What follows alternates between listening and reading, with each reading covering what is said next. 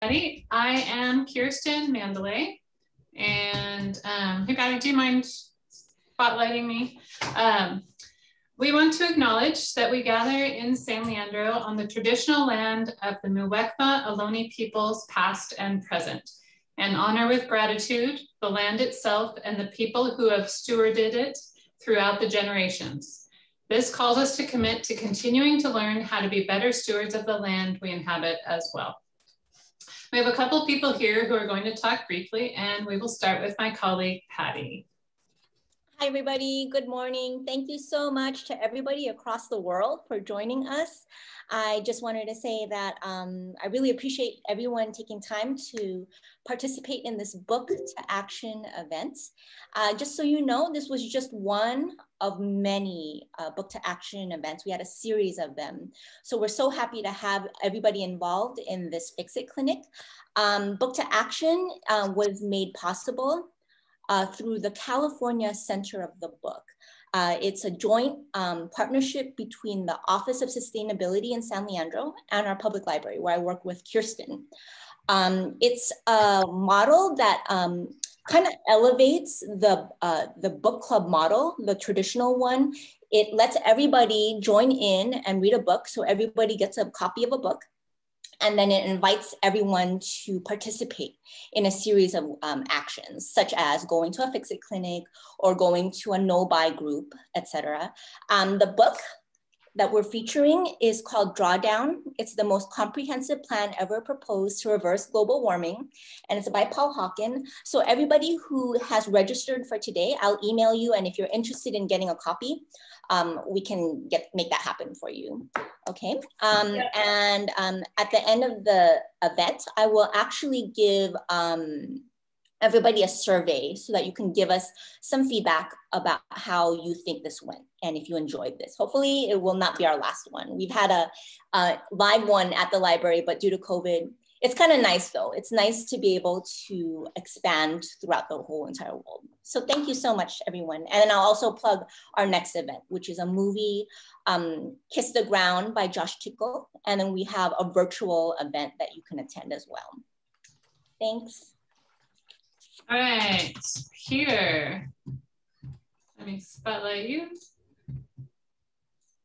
So I realized that most people don't get to see what I see, which is all these people from around the world I develop relations with, both the fixers and the repairers. So I just want to ask you to put your where you're from in the chat, just so everybody here, because there's pages and pages of you, can get a sense of all the people from around the world who are here. Uh, Rotimi's from Nigeria, I didn't even know he was showing up today, for example. So it's just great to sort of see us all here and you know, party on. all right. I'm doing like too many things at once. Jessica, you're now a co-host. Welcome. Hi, Sweden. Um, I'm looking for our next speaker.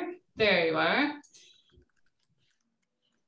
Hoi-Fei Mok is the City of San Leandro Sustainability um, Manager. Sorry, I'm trying to also like, there you go, take Peter off and add. Yeah, I'm here. Hey, okay. Hi. And I'm going to share my screen. Go ahead and I will share your slide. Okay, great. Um, hi, everybody. Um, this is uh, Mok from City of San Leandro.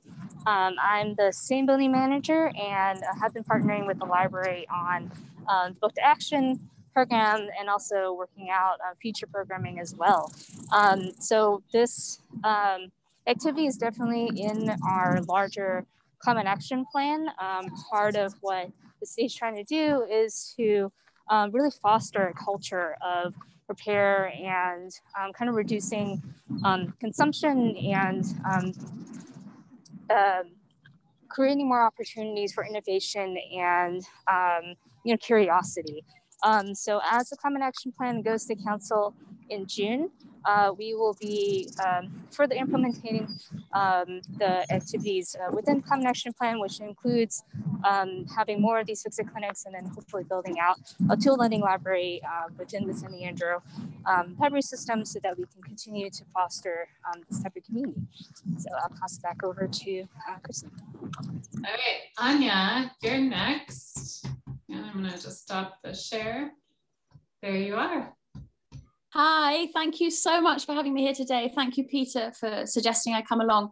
Um, I've been to you guys a couple of times before. You're absolutely brilliant. Um, that's self-evident, um, and thank you. Um, but today I've just got one minute to quickly explain something that you may, um, some of you may want to get involved with. It's a campaign, a social media campaign called Pollution is Pants. That's the hashtag. Pants meaning underpants, not trousers. Um, and uh, it's pants in England means it's rubbish. So pollution is pants is is all about um, how fashion, fast fashion, has a huge pollution, has a huge um, rubbish impact. Um, the focus is on uh, celebrating pre-loved, secondhand, vintage, inherited clothes, anything that you have in your wardrobe that you um, have got from somebody else, that someone else wore before you. Um, and the pants reference in the hashtag is also that pants are the only thing you can't get secondhand, which is probably just as well. Um, so for the next week, running across Fashion Revolution Week until the 25th of April, coinciding with Earth Day next week as well, we're asking, I'm asking, I'm collaborating with Transition St Andrews as well here in, in Scotland. Um, we're asking people to take a picture of themselves um, in their favorite pre-loved outfits and hold up a little placard that says pollution is pants um, describe the item and give a shout out to whoever or wherever you got it from. So I'm a big part of this is promoting all the secondhand retailers there are online and obviously all the charity shops that we know about, but there's loads of online, um, huge online secondhand clothing market, which actually I didn't know about, um, as well as the rental market. So if anyone wants to get involved, if you look up the hashtag pollution is pants, you can find us easily online. Um, and my organization is called Big Dreams Little Footprints, which you can also Google and, and find out more about it. Thank you very much. Thank you, Anya. Right. Anya, please feel free to put that in the chat. Indeed. All right, so Peter, did you want to do anything before I start the participants? No, I think we're ready to rock. Okay, um, so I'm going to be calling on folks who um, have an item that needs to be fixed. And Molly, you're going to be first. Um, and then I'll put your name in the chat when you're going to be the next person to speak.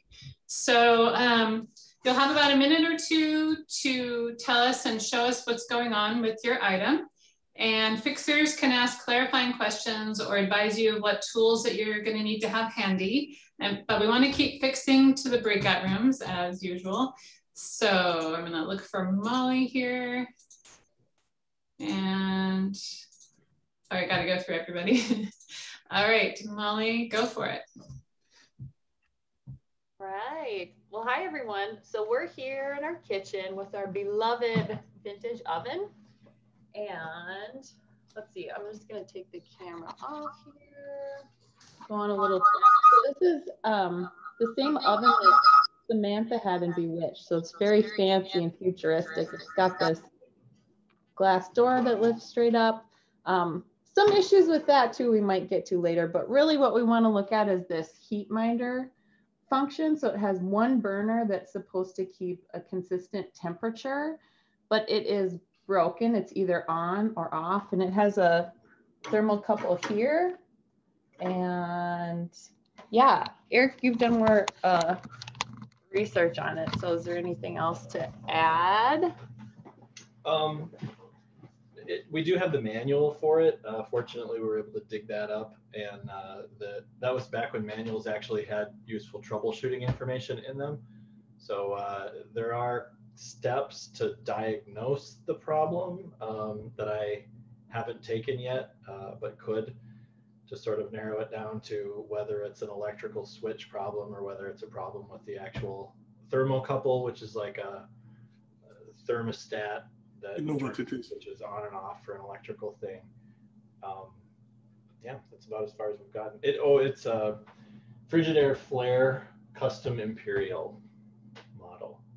There's a few different models, uh, and, and they they vary throughout the years. I think this is a 67, 67? Yeah. 1967. Any fixers have any questions real quick? Uh, yeah, it's Mark. What tools do you have to do diagnosis with? I have a multimeter and I don't know, Lots of just tools. about anything else Yeah. you could want. Finding the tools is the, the only issue, but we have them all Yeah, somewhere. right.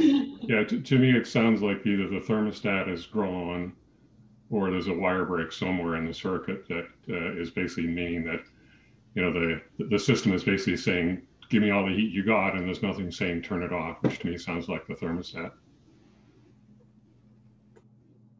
Yeah, okay, we'll find the multimeter. Great. Next is Myra.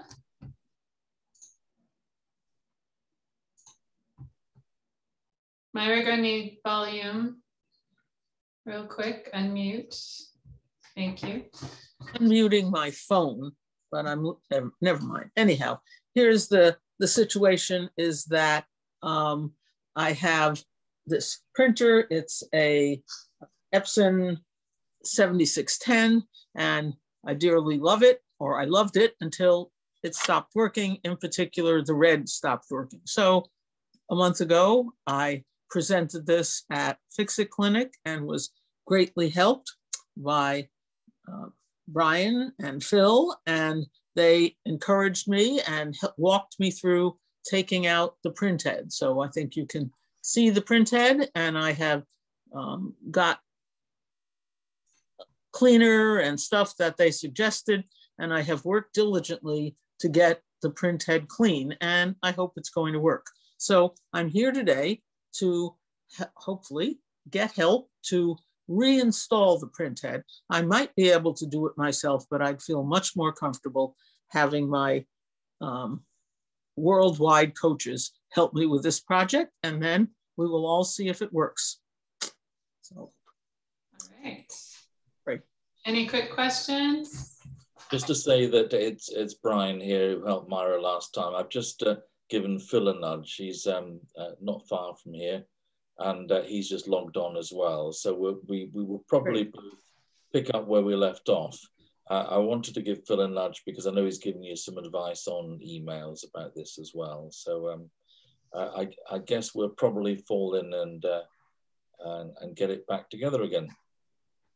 exactly. So it should be interesting. And I did buy new cartridges, so um, that won't be the problem at any rate.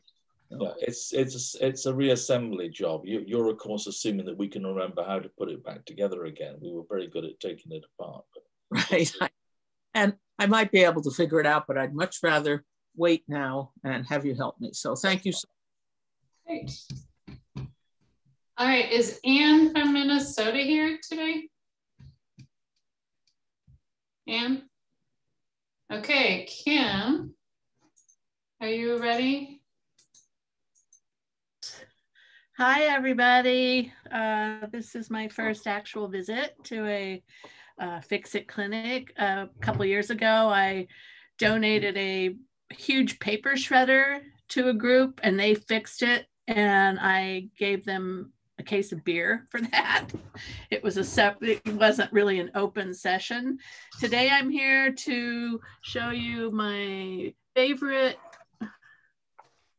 electric bat or my battery operated pencil sharpener from the 80s and it a, a batter it's the best pencil sharpener i've ever had it lasts the batteries last for years but unfortunately i left the batteries in and now it's not working new batteries don't solve it uh, i've taken it apart and put it back together once and now I pretty much have it taken apart and I'm not quite sure how to get it back together. I've started cleaning the contacts with vinegar because that might be part of the problem. The only other uh, piece that might not be working is this little motor. and I haven't taken that apart. It didn't seem amenable to that. So this is my last attempt to try to salvage this. And I'm looking forward to anybody's suggestions. Is there any white deposit on the battery contacts? Um, well, there's two battery contacts. Two of the contacts are, well, I doubt that you can see. Uh, are one is nice and shiny and one is kind of corroded looking. And the other one is kind of corroded looking too, but there's no white stuff on it. I think all the battery gunk is gone. Yeah, well, it sounds like you've just got corroded contacts. So you might need a little bit of steel wool or some sandpaper, some very fine sandpaper to clean them off with. I haven't tried that. I will try that. A fine emery board works great too. Yeah. And, and May I suggest a low budget fix? Sure. Uh, sometimes if you wad up some tin foil and put it between the battery and the contact, it'll work. Oh, I like that. It's kind of hard to reach the contact that's at the bottom of the case. I, I, I you can't really take that bit apart. A Q-tip? What a Q-tip? It'll be a So challenge. The, Yeah. the other thing you can use is the uh, a pencil eraser. You know, just take take the end of a Okay. pencil, shove it down there, and twirl it around. So foil, pencil, and then uh, fine steel wool and pencil eraser. And Kim, Chris asked if um, the old batteries leaked. Did you look at the circuit parts to check for corrosion as well? Um, the circuit parts. I'm not sure what that is. I don't believe that that unit has a circuit board. There's But- no circuit in oh, this. You could from- you could check the motor. You don't need to take it apart. Just Huh? connect the batteries directly to the motor and see if it spins. Okay. I'm not sure how to connect the batteries directly to There it. are two contacts, the little things on the side with the holes. That's where Oh. you connect the batteries. Okay. Thank you. All right, Leslie, you're up next. Welcome. mute myself. Hi, thank you, everybody. Um, okay, so I have this lamp. This, like, it has like, um, it doesn't have a name brand. All it has is like, says it's made in Hong Kong. It says it has to use a certain kind of GE bulb, which I bought. Uh, and then, you know, you just put, you put the bulb in and then you hit the high or the low and nothing happens. It, Okay. Do you have a multimeter? oh, no. Okay. All right. I have only, the only thing I have is this. No, I have tools, but not. Have you not- tried? Sorry, have you tried plugging it in and, and wiggling the cord near the plug? Because sometimes Oh, the cords fray and they break. Inside the insulator. Yeah, I'm trying it now. It's not doing anything. Mm-hmm. Have you replaced the bulb? Yeah, yeah, I just bought them. A couple times. Both of them. Okay. Okay, Kate, you are up next. Let's see if I can find you.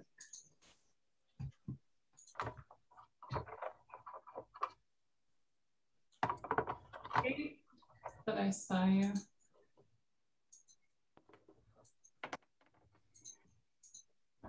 I'm going through the list, everybody. Kate, are you here?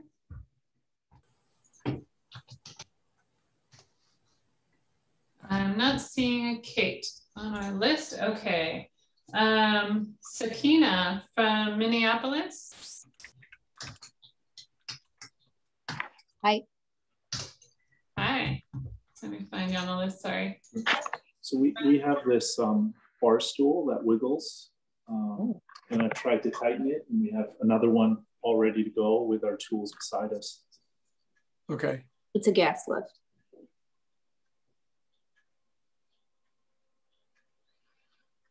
So gas lift, bar stool. Bar stool, yeah. Okay. All right. Wait, and what's the problem with it? Sorry, what was that again? What is the problem with the base plate is loose on the. Yeah, the base plate Oh. is loose and it wiggles. Okay, can you turn it upside down so we can see the bottom? Sure. Okay, that's what will need to be opened up. Yeah, I have the tools to open it up too. Well, you, you probably just need actually to tighten up the uh, Allen screw there and In the middle. Yeah. Yeah, so Right I've. I've tried that with this as well, um, going in both directions. It still doesn't tighten it up and it still wiggles. You'll have to take it apart and see. Yeah, maybe the threads are stripped. Okay. So it, Or there's a part that slides up and down in the tube. It's become loose. It's not supposed to slide. Okay. I mean, There has to be some way of resecuring it. Actually, that's not where it wiggles. Take a look at it. Sorry, what was that? It, not it the wiggles down here at this The point bottom here. part there is the plate, the chrome plate and the plastic plate itself are not tied to each other properly. what you're probably going to have to do is put some solid. stress on. You'll have to take it apart and see. Right, but you'll, you'll have to put some stress on the um, post by essentially tr- trying to bend it and then use the uh, hex Allen key to to Okay. loosen it to get it apart. Okay.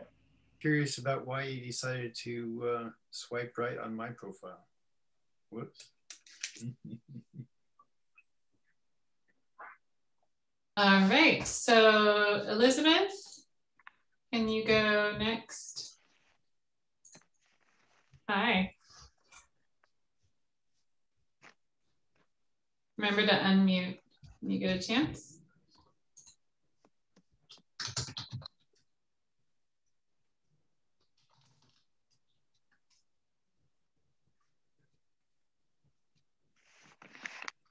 Still muted. You need to unmute. Okay, There, is that- that good? Yes, we can hear you. Okay, so I have a brother typewriter that um, is not typing. So um, want to work on that. And when I turn it on, you can hear it. Hold on.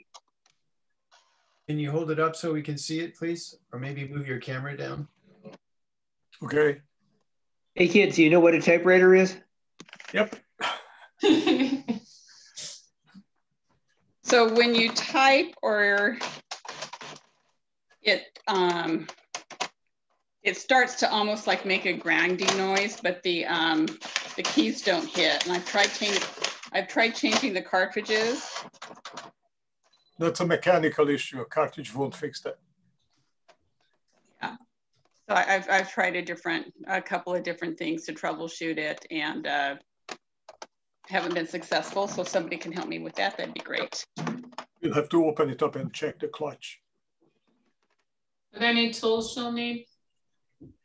I have a hammer and a screwdriver and a Phillips and air duster and different size um, screwdrivers.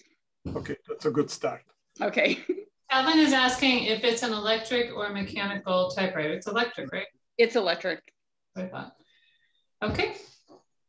Um, Rachel, you're up next. Yeah. Hello. I have a regular convection, uh, kind of a fancy oven, convection toaster oven. That's my neighbor's. And it turns on. Oh, it's not very good screen there, but there's a screen here that lights on. You turn it on, off. There's a function that, oh, you can't see that, but there's like, actually, part of the problem is that these uh, so this changes it to like toast, bagel, bake, roast. And then there's a temperature gauge that works. I mean, that, that changes. There's a time, Fahrenheit, Celsius, uh, um, a, a function for, for frozen and uh, a fan. So the buttons seem to engage. Um, the when starting preheating, the fan comes on, and then it does all the stuff except for it doesn't ever actually heat. So there's some kind of circuit or something that's short. Have a multimeter. I'm intimidated to take it apart, and I'm not very good with the multimeter. Can you can you possibly state what the problem is? The problem is that it does not heat. Okay, there's no heat. Hi. No heat. Correct. Thank you. So the, the fact that it doesn't heat, a lot of the newer appliances have these things called thermal fuses in them. Which if Mhm. if things get too hot, they'll just melt and and none of the heat comes on.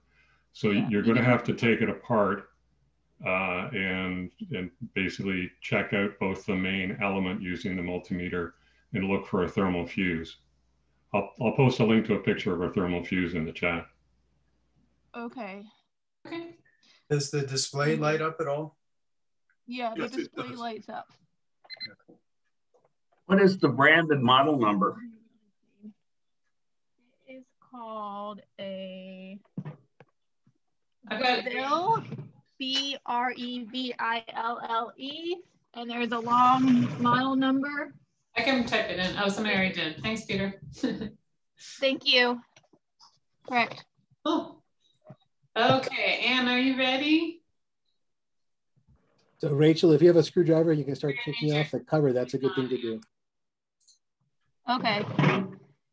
Anne, are you ready? Kind of Yes, I'm ready. Hold on, let me. But unplug it first. There you go. Hi, I'm Anne from Santa Rosa.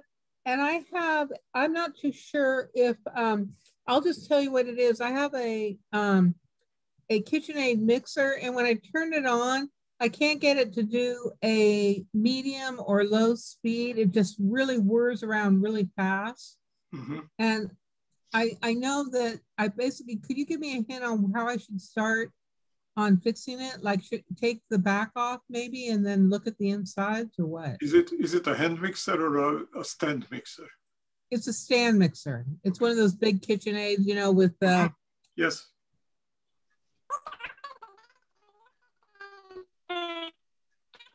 Can you show it? yes, I can. Yes, I can. That's what I'm sorry. Yes.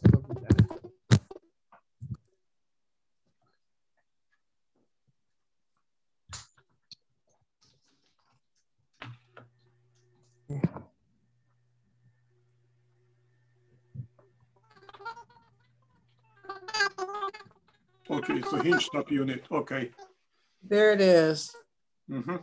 It's old. It's I think it's it's like back in maybe 19, maybe early 2000 or you know, it's pretty old and it's just it may, you know, I'm sure I can fix and get a few more years out of it, but that's it.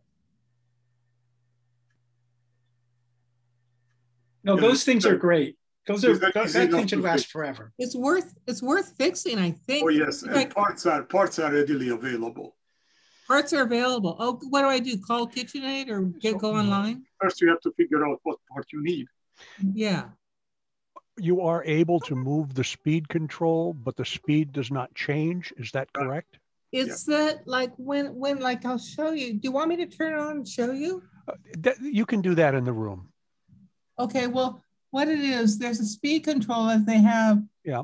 um, you know, one, two, three, can four, you and move on that? one, it's doing like eight speed. Okay, I put it on fine. one, Yep. and it's just zipping around really fast. Can you, like can really, you move the button?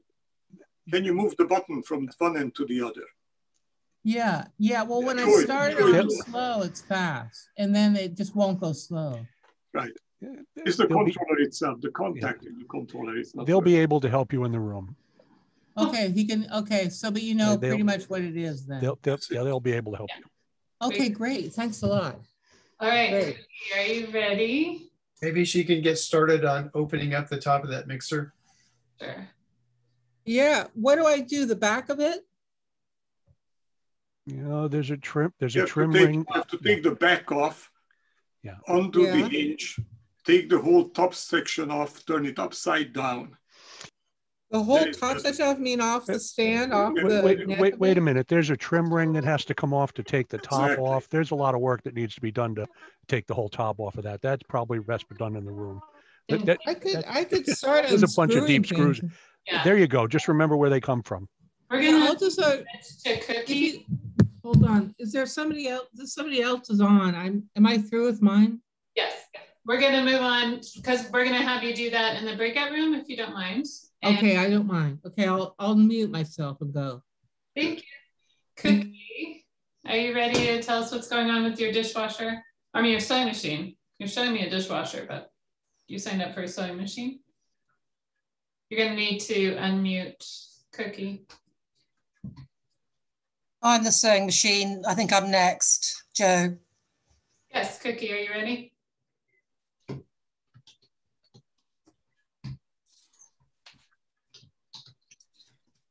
Cookie is muted. Cookie, you need to So. I have I have a dishwasher. I don't know if there's supposed to be a sewing machine person going.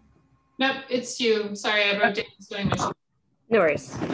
Uh, so I haven't used my dishwasher in probably the past year. Uh, it was just not getting things clean, and I tried um, like a commercial, uh, I don't know, some sort of cleaner thing. Um, I think I've made some uh, dents on the filters, but uh, haven't had any success. Uh, the model, it's a KitchenAid, and the model is KD FE104DSS0.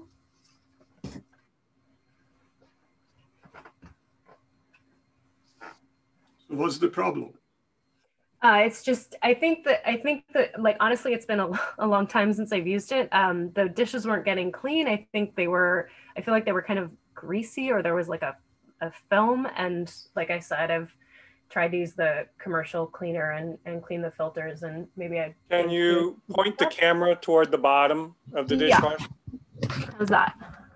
Is uh is this a dishwasher that you own? Like That I own? Yeah, like it's like are you like I'm assuming you're not renting a place, Correct. right? Yeah. Okay. Uh-huh.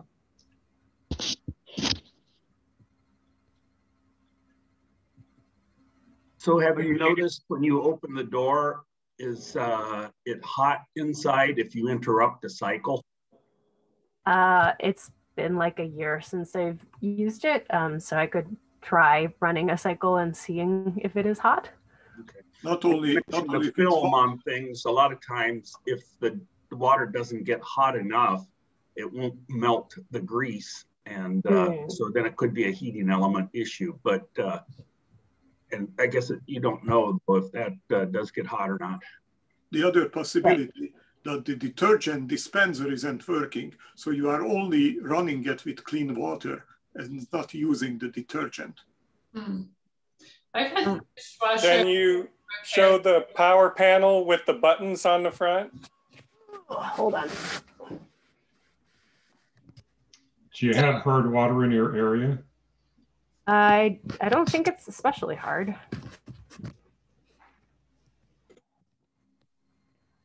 Does the the bottom where the um the arms are, does that come off and the filter and a filter underneath able to be removed? Our dishwasher is that way and we often have to take it out and just um, soak it and scrub it and make sure that that part is clean.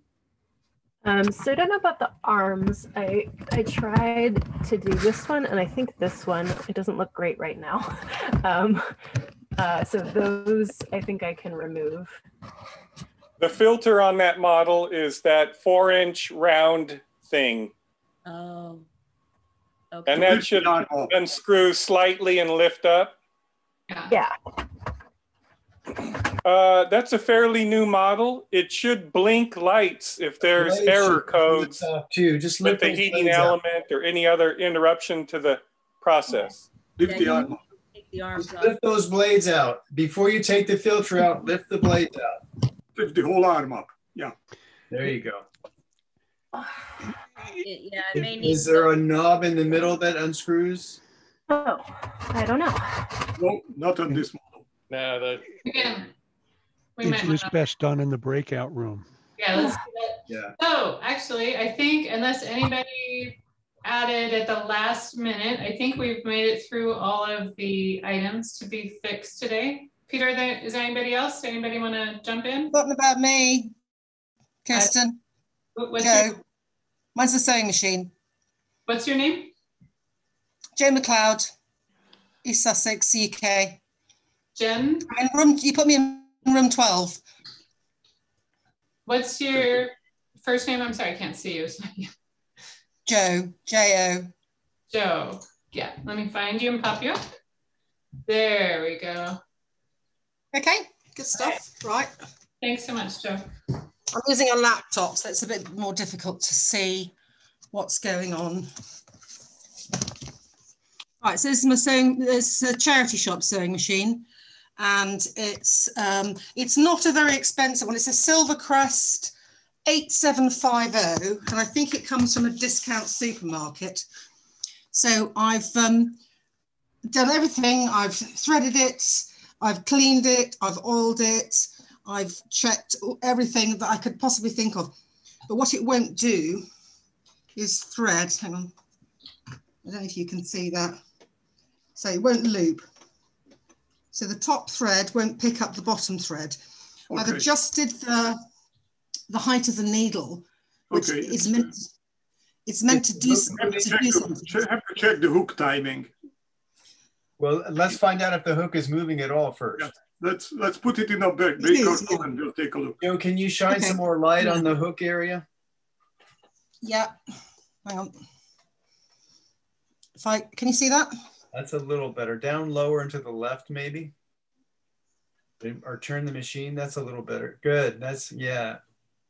Okay, the hook's okay, turning. It, it's doing the right things. It just the needle just doesn't yeah, we'll, we'll want to pick up the bottom thread. Looks like the timing is. Yeah. Up. Okay. Good stuff. We can fix that in the I think it is timing. Yes. That's all. All right.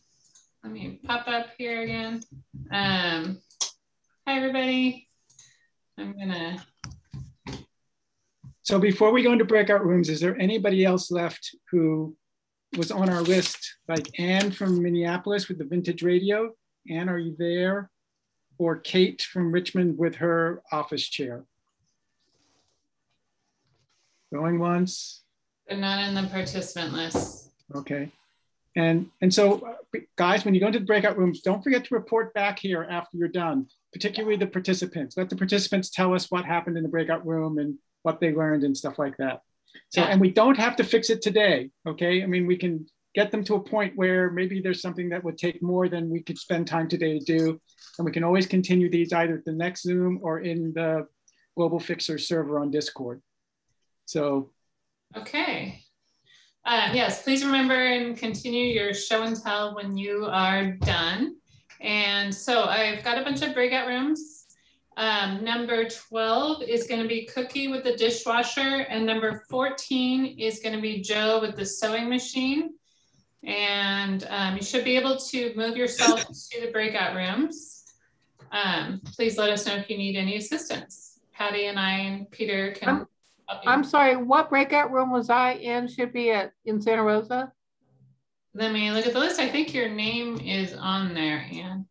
Well, I missed it. I was in the I had to use the toilet. I'm sorry. Where Anne from Santa Rosa, you are after Rachel. Okay, I'm at, is that true? I'm after Rachel. Oh, I'm sorry. Go ahead. Do you want to present, Anne? I already did. You did. I just don't know where I go now. Oh. Are you Anne Shippey? Yeah. Yes, I'm Anne Shippey from Santa Rosa. And I presented my my KitchenAid. They told me they could help me. There is a there's a breakout room called Anne KitchenAid Mixer. Where is it? If you look at the breakout room list, just oh, scroll down that? past the names. Oh, I see. Oh, I didn't realize that. Okay, here we go. Okay, thank you so much. Then I can find it. That's what I'm here for. Okay, thank you so much. Kristen, what breakout room is Elizabeth in for the um, typewriter? Look for the one that's titled Elizabeth Brother Typewriter. So just go to the square where it says breakout rooms and then click on the uh, yeah, you're going to see a bunch of names and then you're going to see the breakout rooms that are named and yours has a name on it. Okay. Everybody else, the only people who have numbered ones are 12 and 14. So we do that now? Yep, go ahead and join that.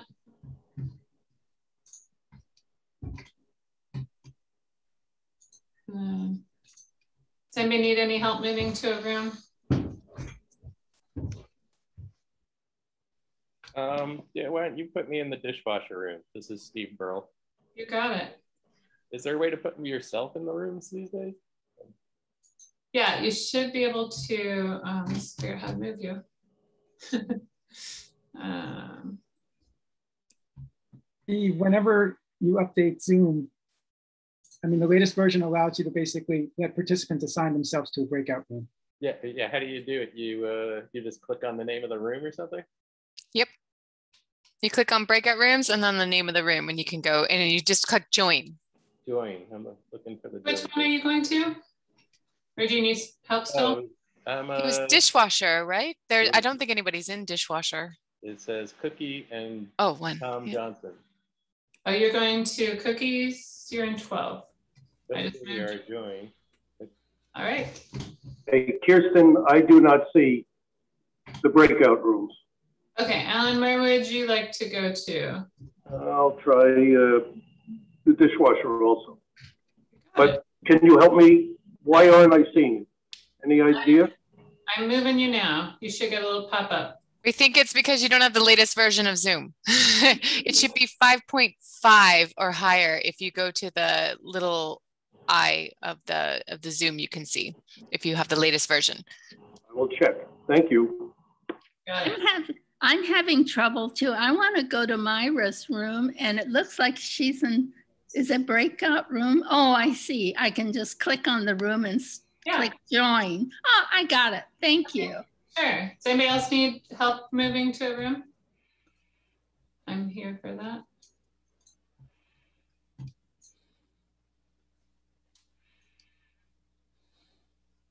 It's not so obvious. I didn't realize that there were so many different versions and you had to keep updating it. Yeah, I just updated on Thursday because, yeah, they keep updating and changing. Thanks so much, Deanna. Thanks for joining us. There she go. That's my next door neighbor, literally. All right, Jessica, how's Lund, Sweden? Yeah, actually, we've had pretty nice weather this week. It's cool but sunny. so yeah, the days are getting longer. It's it's good. Hopeful. Um, mhm. all good. I saw you have an event coming up at the university. Yeah, we have we have an event just on how to do repair cafes because we're the only ones in Sweden right now um, with a UK group that reached out to us, but we've never met them before, so it's a bit of a blind date on that one. So yeah, we have no idea what to expect next Friday, what we're what we're actually doing. So that'll be fun. But in June, we're hosting the the Midsummer uh, Repair Cafe. Oh, So great. Also, we'll put flowers in our hair and be um, Oh. Swedish without the horror because I know they made the, the horror film about it a couple of years ago. But um, we actually do do everything other than the sacrificial. That's true. I'll try to do Yeah. I'll, I'll get me a flower crown. we do that. dance and sing some, some funny songs around a maypole with leaves, and all of that's true. But yeah. I haven't done it yet in Sweden, but um, probably not this year due to COVID, but maybe. Yeah. Yeah. Definitely. It's fun. Yeah. Is it your university that does like um, sharing of um, student items like bedding and whatever students need? Do you kind of like recycle, or that's another university that does that? That is a, an organization in our town run by students of the university, actually. So it's Circle Center, um, basically, who started a library of things for the students. Um, and yeah, the the bedding is really is really cool because they they do long term rentals basically for the students. So those students coming for a term or even the year can basically rent their bedding for the year. Yeah. Yeah. Yeah, we It's talked pretty- about it at a previous um, event, and I just I thought that was so smart because um, all that stuff just ends up in dumpsters. You know, students use it for a year and it's dumped out, and That's where they got a lot of it too. I have to say for the Circle Center, they they just scoured around at the end of term and get a lot of the stuff. Um, but they're going to be co-hosting with us in June um, too because they have a lot of things that they'd like to learn how to maintain. Um, so I, I told them, and they also get a lot of things like students bring over from the UK and they have to change the plugs to an EU plug. So like fixes like this that keep it functional longer that they they reached out to to the repair cafe. So i was like come come to our event and maybe we can do a couple of breakout rooms with them. Yeah That's so it's a bit fun. Yeah, very cool idea. At UC Berkeley. Can I, can I get somebody to, to put me in the KitchenAid dishwasher room? This is You didn't- Uh, It says you haven't 12, joined but it. it seems like everybody's in the one called Christina KitchenAid dishwasher. But I don't seem to have a join button in my screen, and I have the latest version of Zoom, and I don't know what's going on with that. And Steve, which one did you want to join? Do you want- Christina KitchenAid dishwasher, please. Okay. Do you got it, Patty? Um. Oh, he's been assigned. He just needs to join. Um, I'm not. I oh, hope- there's the- I hope you join. got I a just got message. the join. The join dialogue just popped up. Good. Okay. I hope you got in. Okay. Shoo. So I'm new to this. Can people pop into a new room after they're finished at one room? Could you go from KitchenAid to maybe dishwasher when you're interested in something? That's cool. Yep. Yeah. You can roam. I like that. And you're welcome to like join one if you want to see um, what it's like. Okay, I think I'll try it. 'Cause This is, I'm new to this. This is great. Zip around. Yep. I'm gonna go check out what's happening in the lamp room. So I'll see you in a bit. Bye.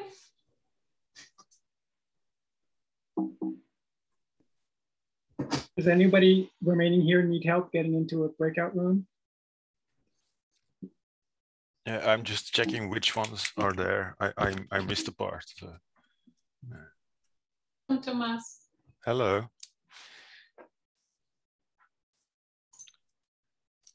Is there a reason why private chat is, is disabled? Um, that should not be disabled. Looks to be. You can, who do you want to talk to? That's a private question, no? this is true. To you, of course.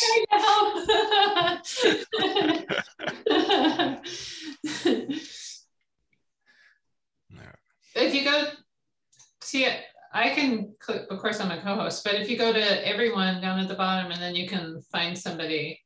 Yeah, but that's only because you're a host. Yes, I think he's right. You when like for example, I can't see that part either, but it might be because my software is not updated as well. You're a co-host too, so. Am I? Oh, okay. Yep. How do I move? You're- It might be an older version of Zoom. Peter surely knows. So. Yeah. Or Jessica. She's a Zoom uh, wizard. So. Kirsten, it's okay to make Tomas a co-host. See if that gives him the capability then. Sure. He's okay. We trust him. I'll take your vouch for him. Whoa, thank you, Peter. That's uh Got some power now. With great power comes great responsibility. Yeah. I, I no longer dare to chat now.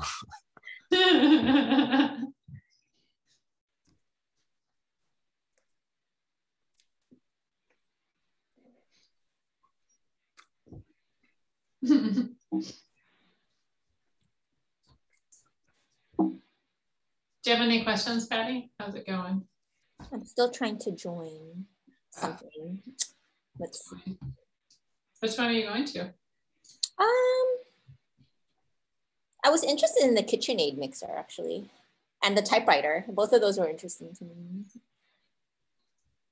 But I don't know how to make myself go in there. This is I just popped you over. Do you see it? yes. Thank you.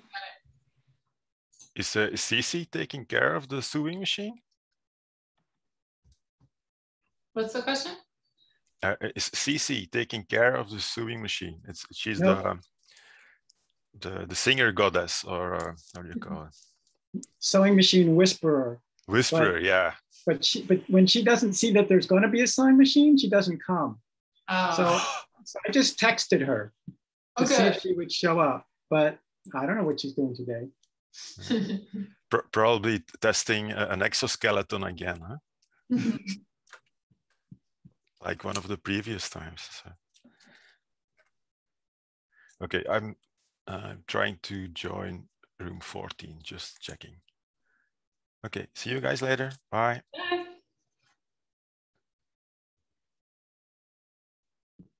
I like it when the main room empties out like this. It's great. Just uh, you feel like everybody's doing stuff. But let's take a quick. Or is does every item have coaches? That's a good question. Breakout rooms. Howdy.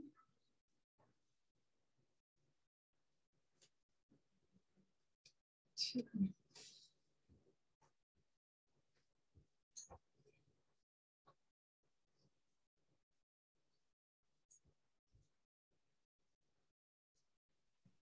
Yeah, looks okay.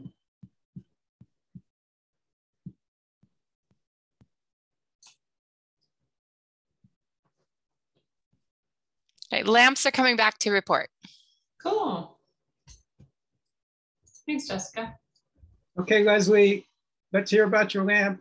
I, I, I ideally want the person whose item it is to tell us what they figured out. Tell us what happened, Leslie. Um, well, I don't have a multimeter, and then, um, like, so the, all the nice guys had a couple suggestions. They said that, oh, something about the plate here that the plate that the bulb pushes in, maybe it's just moving around, I guess.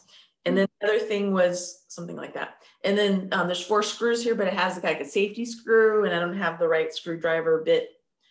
Um, so that I have to get those two, and I so I have to get a multimeter thing and I have to get this screw bit thing. Um, but they so they did a couple different things. Had me check, um, had me check this wire that goes from the bulb down where it bends in all these parts to make sure like it's not frayed, that kind of thing. Um, you know, and then had me um, also turn it on and and then touch all the wire all the way down to make sure um, nothing's loose in there or something like that. I hope I'm explaining it correctly. Um, and then, and then, and then we, we unscrewed, I unscrewed the screws that is holding this whole element head cap thing in there, but um, it won't come out. And someone said it's probably because it's the wires hooked up to it. So it's holding in place. Okay, thank you. So you're you can bring this back next time, or if you don't want to wait till then, we have the global fixer server too, and we can sort of try to continue this repair there. Um, How do I sign up? I'll send you the link, or email me again, and I'll send you the link. Thank you, everybody. I really appreciate it. Hey, thanks for being a contestant. thanks for playing the game.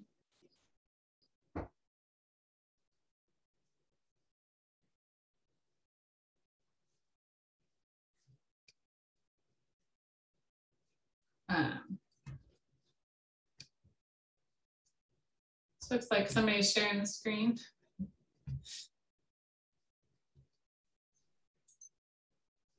Yeah, what's that about? Sorry, do, do we have a do we have a fixer available for the typewriter thing? Um, I'm a little bit out of my depth on that one. Can you repeat that? I'm not sure. I, I, was I was wondering if we have a fixer available for the typewriter. Uh, it's just I'm I'm a bit out of my depth on that one. Ooh, good question. Kirsten, you can send a message. Um, right, an announcement to, to the breakout rooms and say anyone able to join the typewriter room. Mm -hmm. How do I do? Oh, here it is.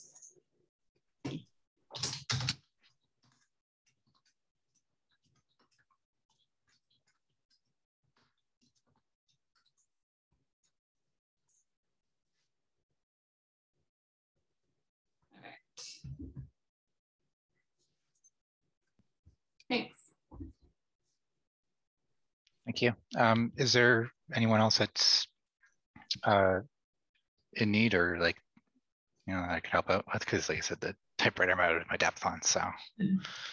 Let's see. Um,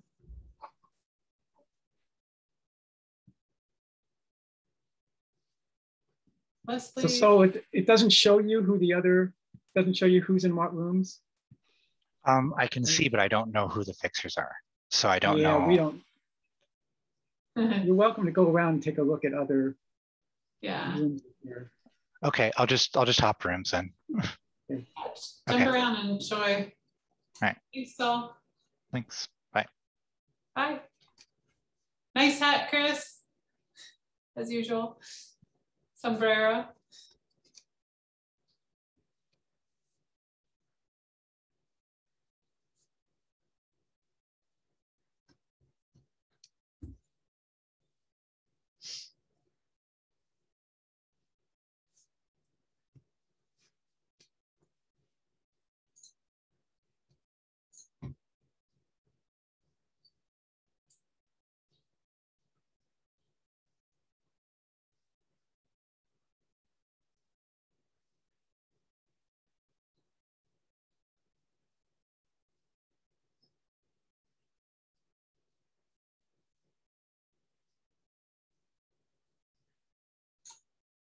Looks like we, Calvin joined the typewriter. Oh, good. Greg is moving to the typewriter. What's the story with the duck? I like it. I salvaged it off the streets of Berkeley yesterday, and I just thought it would be. I tell people to put something whimsical in the window, so I thought I should do the same thing. Indeed.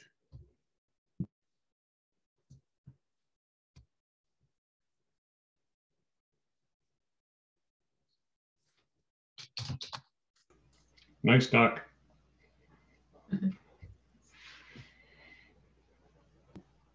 He's actually he's got some problems. He's got a hole in the bottom. Looks like a piece of buckshot came in the side under his. So he's he's a sorry duck. He's lived to tell the tale. I don't know. I, I have about half a dozen antique ones that are carved out of wood. Yeah, this one's molded out of plastic. I had some, um, I had a pair that I gave away on my Buy Nothing group, but they were pretty cute pair. I was pretty proud of them.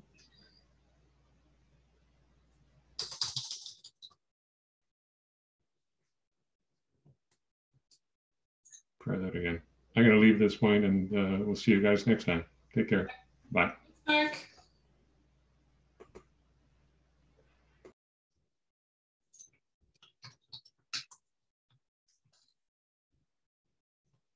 Thanks for joining us, Rick.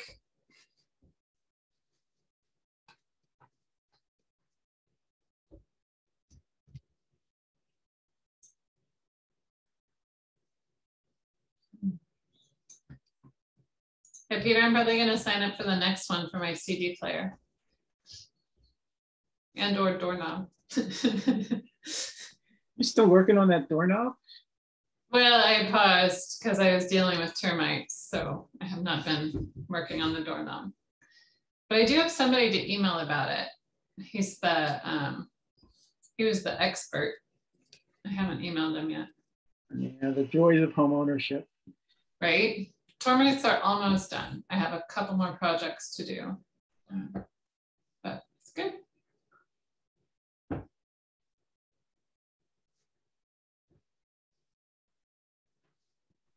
Steve, are you still having trouble moving around in rooms? We can move you. Yeah, I, I don't have a join button. And then I looked over on the help pages for Zoom and it says that um, for Mac users, um, that I may need a, uh, it says, wait, where did it go?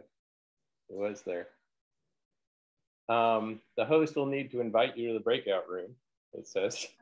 and then do you want to go. Steve? I can do it. No, but I want to understand, but it says that there is some way that the, um, that the host can set it up so I don't need that. And it seems like something, it says, if the host has allowed participants to self-select and join breakout rooms of did. their choosing, participants will be able to view and select from the list. Now, I don't seem to be able to do that. It might be your version of Zoom, but I I'm have, I have the latest version. It says you have to have 5.3 or greater, and I have 5.6 something. okay. So I'm just curious if there's something that, some button that has to be turned on by the host to allow me to join. It's already on. It's on for everybody, Yep. not by, by, for each individual user. There's not. Yeah. I set it up. I wonder if it's because I joined the early, the meeting before you. Um. Maybe I'll hang up and then join back in. Yeah, try that. Let's see if that works. I'm just trying to figure out the problem, you know, Yeah, troubleshooting for sure. being a fixer and all. It's it's our way. All right.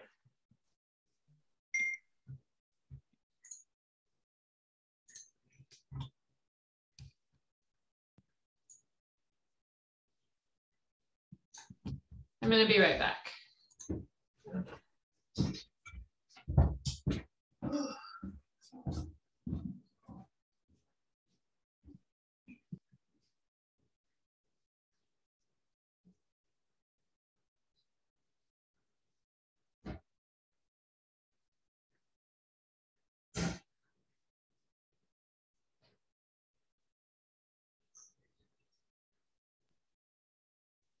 Okay, I'm going to change the video to me or try to. Okay.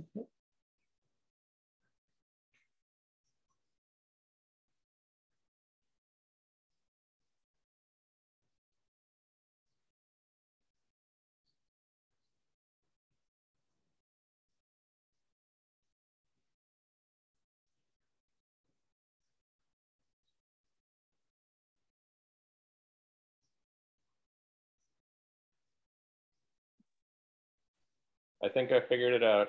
Just operator error. There's a number that shows the number of people in the breakout room, and it's if you roll over the number, it shows you the join button. so it's operator error on my part. Sorry about that. Great. No problem. All right. Glad you figured Do it know- out. Do you know a specific room where they needed help? No, uh, if you could do me a favor, I mean, just do do a little inventory, just check every room, see what see what's going on there. Hop around. Okay. Yeah.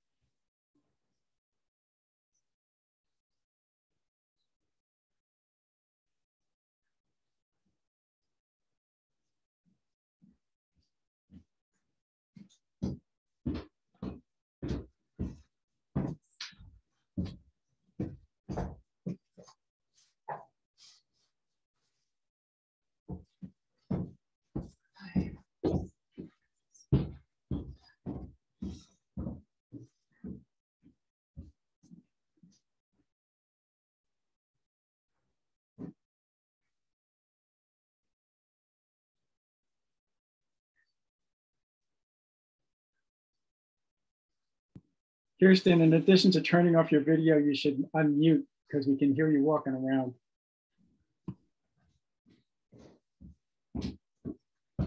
You calling me? Yeah, you should mute too because you're we can hear you walking around and it puts the video on your um, page. And so- Sorry. I had to go grab one more thing. It's just you and me at this point. I'm pretty sure. I know Faye, Faye is lurking there, but Mark Stengel has logs in twice, so he's in another room. So Oh, okay. but And I realized I forgot to mute too.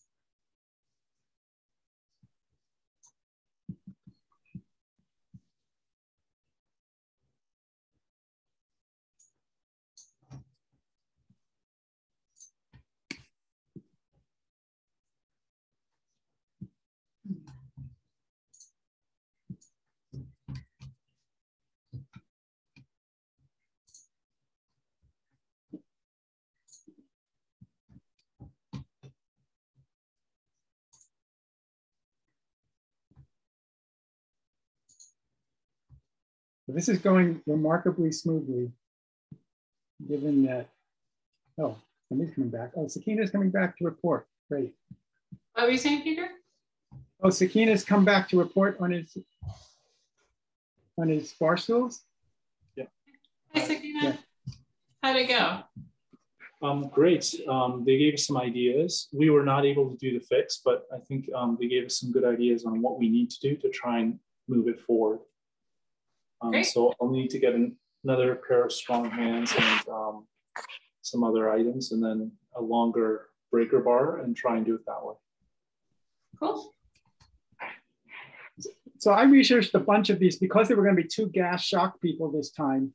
There was also this woman with a chair who didn't show up. Um, there are websites that show how you take apart these kinds of. There's a gas shock in the center, and and so basically there's a bunch of websites where they sell replacement gas shocks, which I don't think is your issue, but they kind of show how you do this kind of general disassembly.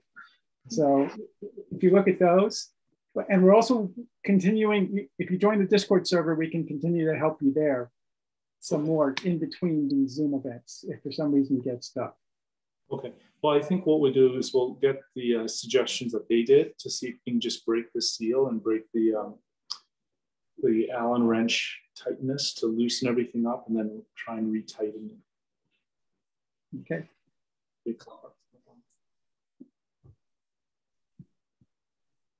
All right, well, you're welcome to look around at some other thing if you want, or Okay, or leave. thank It's you. We'll, we'll check that out. We appreciate your time and help. I guess Am I thank- supposed to comment or? Uh, Oh, yeah, go ahead, Ed. Tell us. Yeah, tell us what you, please. Okay, so evidently, uh, the round chrome tube, there will be a slug that's been pressed into the bottom at the factory with threads on it. Now he's already tightened it so much that the slug slid down the tube.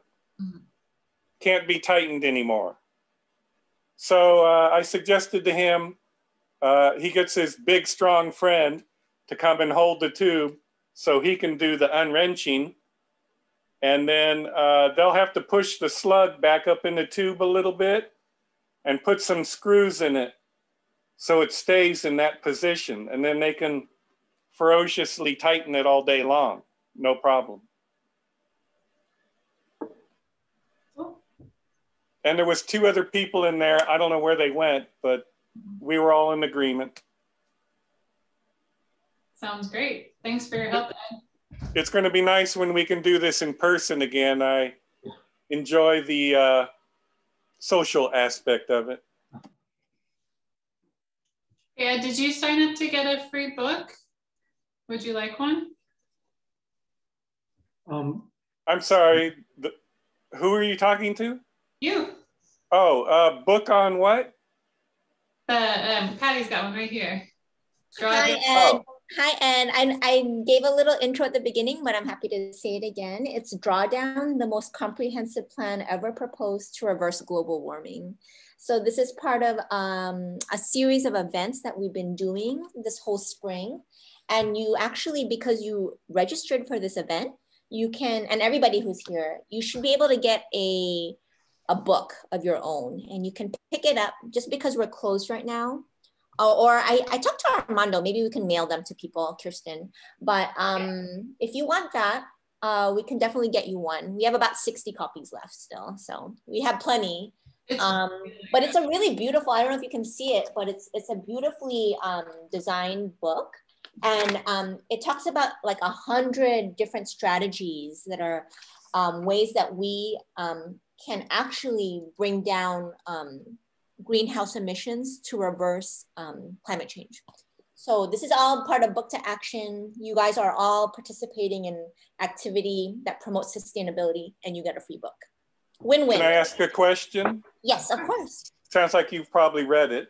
Um, is this kind of on the global corporate level or for an individual? It's everything. It's global. It's what countries are doing right.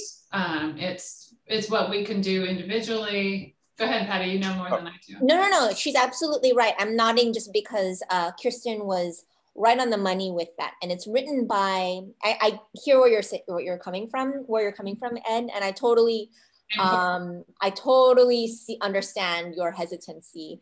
But it's actually written by an environmentalist, and he has um, kind of taken all it's an amalgam of all of this research from around the world and you're right and that's what i love about it as well and from students and actual farmers people who have worked um, and had their hands actually dirty not just someone saying okay i can put the money in here but they'll have for example a farmer for, from burkina faso for example who helped um, improve the soil of his farm and showed all his neighbors how to improve their farms. And it's actually, I absolutely appreciate your perspective because it really is a lot more, um, not just impressive, but inspiring. That's the word that I want to say. It's inspiring to hear what people who are um, involved in it in their own personal lives and how they're changing their communities by doing something as simple as intercropping trees in his farm. That's what the guy in Burkina Faso did. But um, I recommend was- that you look at it. Mhm. My concern Yeah. was, you know, if it was just strictly political or um, re, uh, fixes on a huge, large scale. Right. Well, I can't do much about that. Absolutely. And If I was Bill Gates, maybe I could, but Right. I completely hear you on that end because sometimes when I listen to the news, and me and Armando were saying this, and we're hearing about um, climate change, we feel discouraged, right? Because it's like, oh, I can I can recycle, I can um, use a water bottle or something reusable to have my drink, but I'm not going to change climate change. But this book, I assure you, will make you feel a little bit more positive about the issue. great. Oh, I have a side comment. Yeah. Peter, quit ducking around. oh, is this PG? Sorry. This is. Uh, I'll tell you what. Um, put my name toward the bottom of the list. Okay. If everyone wants one more than I do, that's fine. We have enough How for about that one, Ed. I, I really, you know, what, what I really appreciated was um, just up to date research, up to date information, going, you know, what Germany's doing right with solar um, power in homes and, you know, what each country is doing and what's Yeah. going on globally that's making a difference, which is really encouraging. And also just like the fact that solar is becoming more and more affordable, like exponentially more and more affordable. It's it's happening so fast that they can hardly keep up with um, how it's becoming more affordable, which is encouraging to me because that'd be something I'd love to add. But also like when And the world had tankless water heaters way before the US would accept them. Yeah, I got one. I inherited when I got my house, but yeah, it's um. What's nice is that it's encouraging. There's definitely things that we can do, you know, on the small level and scaling up that can actually reverse global warming. And um, it's it's really one of the best things I've read on the topic. And it's so easy to get overwhelmed on this topic, but this is really accessible and inspiring. it's written in a way it's really written in a way to um, not involve a lot of jargon and he you're right he does take away all of the po- politics behind it. Mhm. because he said this is not a blue or red issue. Yeah. it's for all humanity no matter who what party you belong to. Um, the issue of climate change has no um, political boundaries to it. So and it's right it's true but that's how it plays out a lot in this country. But i get your hesitancy but yeah i'll put your name down and um, So I'm unfamiliar. I know I've signed up for this, but I don't recall if I ever gave my address. Is that on file or do you have a library card with us no? I can No. just email you. I'll get the list from Kirsten, and then if you're interested in it, I'll definitely yeah, because our supervisor really wants these to get pushed out so people can read it. So, because we're librarians. but let me when I get your email address, I'll I'll connect with you, Ed. Thank you. I think I'll check with you, Peter, because I don't know if I saw Ed on the list for the fixers. I emailed Oh, I- some of the local fixers, but I didn't know everybody who was local too. Ed, are you getting the emails from me announcing these virtual fix clinics? Yes, and I mm-hmm. did sign up and I got your Zoom link. So I think I should have been on the list. Yeah, I got you do. We'll find you, Ed. All right. Then I'm guessing, is this over then? Well, you can go look at another room. You can keep fixing. Oh. Oh. Do you want to join? Um, is anyone having a problem or I guess there's no way to know the status of what's going on? huh? no, you could do us a favor and go around, you know, go, you go work in. The typewriter room? Oh, No. I'm not so good with typewriters. You don't have to. But it's about learning for you too, okay? It's about it's about developing additional skills besides the things that you care about. You know, it's it's okay to go in and ask questions. We have a lot of observers. Mm-hmm. The whole Okay. point is that we cross train and learn about all sorts of stuff. I guess I'll go observe then and learn something. Great. Yeah, it's definitely about sharing knowledge too. Once you know, right. you share your knowledge as well. Thanks. Clearly know a lot. um, Josie, are you having issues? Do you need to? Um, you're muted.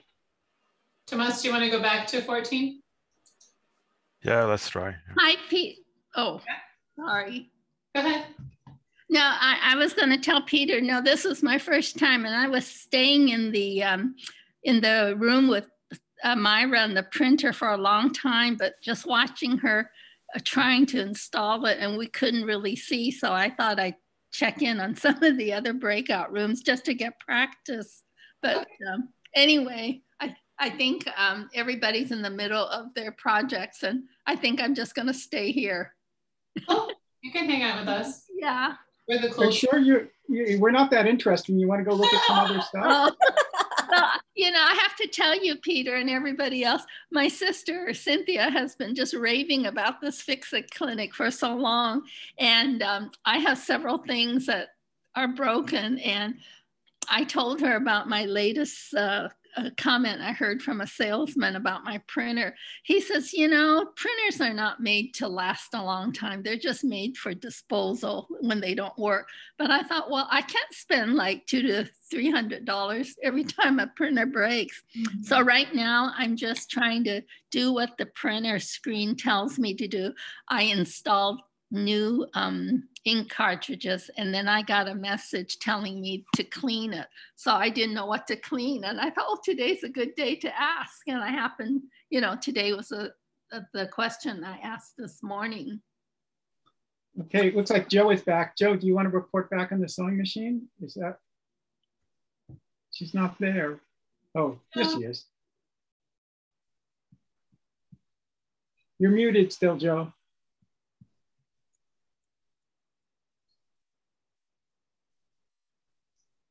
You're still muted, Joe. I just asked her to unmute.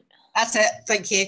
No, so the problem with the sewing machine is the uh, when the the top thread comes down, it doesn't loop around the bottom thread. They don't. They're not in harmony, and the, the timing is wrong. So Frank put me in the direction of some various bits to loosen and tighten, and um, I will do that when I, and also a, a YouTube video when I've got a little bit more patience because it's um, half past eight here in the evening. And, and I did text Cece. She didn't show up this week because she didn't see me sewing machine scheduled. Oh, okay. Had I known, I would have asked her to show up, but I texted her. It looks like she hasn't joined.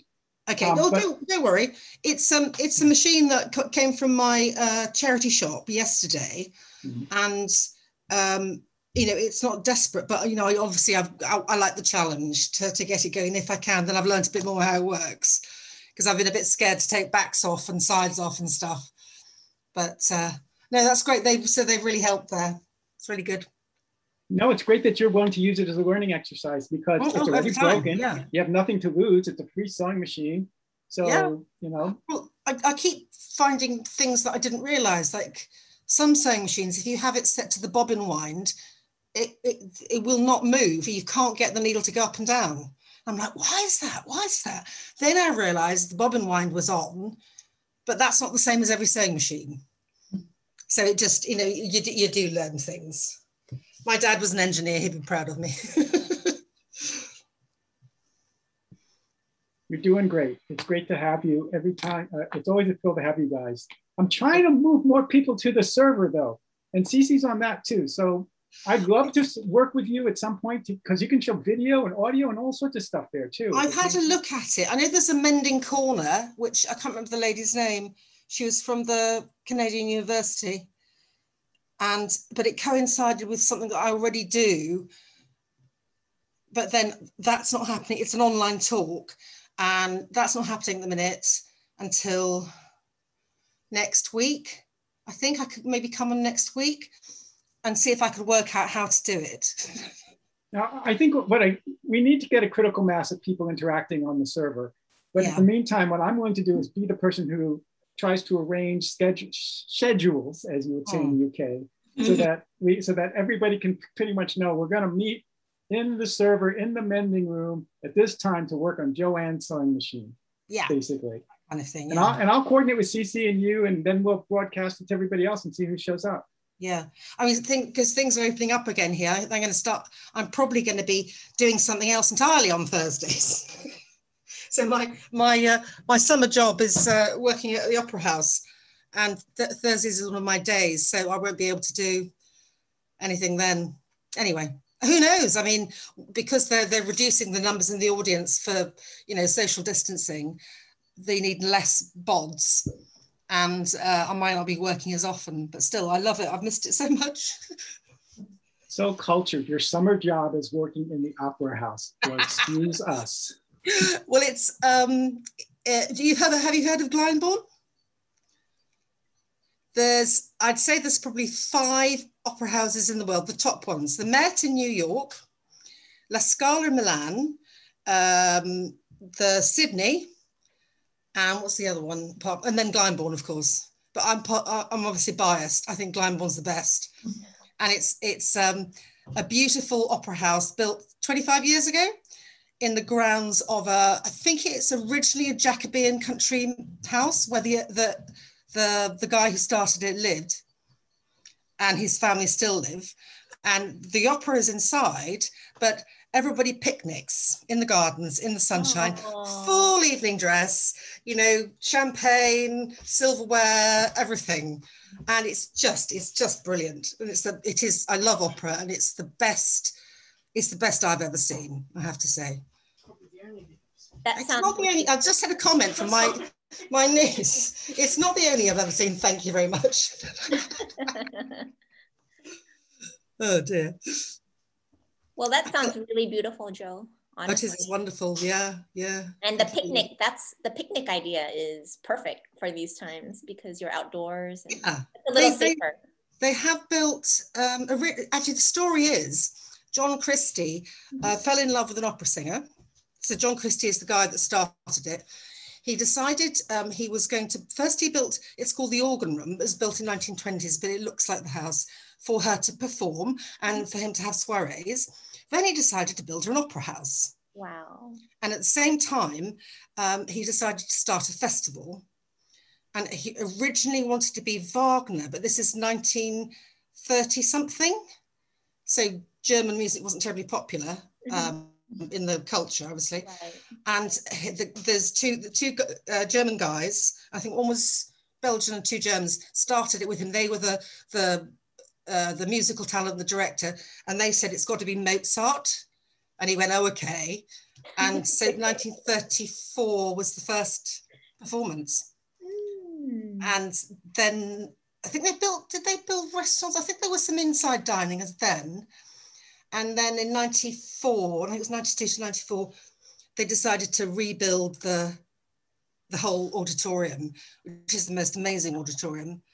And um, yeah, it's just a beautiful place to visit. Beautiful place to hear opera. Yeah. And it's only down the road from me. so if you ever come to England, yes, it's on my come list. Come to Glyndebourne. and if you let me know, I'll probably be able to get you either a free or cheap ticket. Oh, that's so sweet. I'm excited. I'm there next week. Oh, sorry, not next week. it starts the, the, the season, the summer, the festival goes from the end of May to the end of August. I see. That's nice. Yeah. I mean, and it still rains in, in you know middle of July, and we have tents and we have umbrellas and God knows what for the poor audience members is standing there in their in their beautiful evening dresses getting soaked. yeah when that happens though you never forget it things like that. So oh, it, adds, it, adds, to the drama of it. It does it does yeah. One time we had um there was a huge there was it was raining like you would not believe. It was just chucking it out the sky. And I was so how the the auditorium's constructed you go down to the stalls rather than straight ahead to the stalls. Mm-hmm. so I was down at one of the doors and I could hear the guys with these massive great brooms sweeping the water away from the auditorium. Wow. Mm-hmm. And then we discovered afterwards that the uh, some of the, the, dressing rooms in the basement had flooded.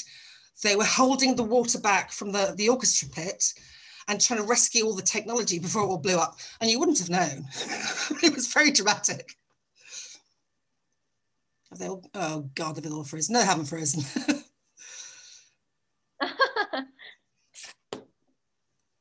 so what's that, what anybody else been up to? We're just we're just living our lives away in boring Northern California. Oh, it's, surely it's not that boring. I've, I've been a couple of times. I like California. it's gorgeous outside. I'm working in the library right now, but it's nice and sunny and we're slightly opening up, but I think there's like that still that level of anxiety that's yeah that people are feeling. Um, so we'll we'll get through it. I'm I'm a Yeah. positive person. I just feel like uh, we're trying to be really careful, and I think that's a good thing. Absolutely. I've had my first dose of vaccine. Good. And um, it's, I think they say something like 89% protective, but I'm still going to wear a mask and Absolutely. all that, you know. And I think most sensible people are.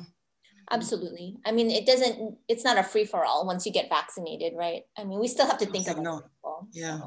Mm-hmm. And then there's a variant, there's the Kent variant from here, and there's a South African variant, and then there's a Brazilian variant. And I mean, Yeah, God yeah. knows.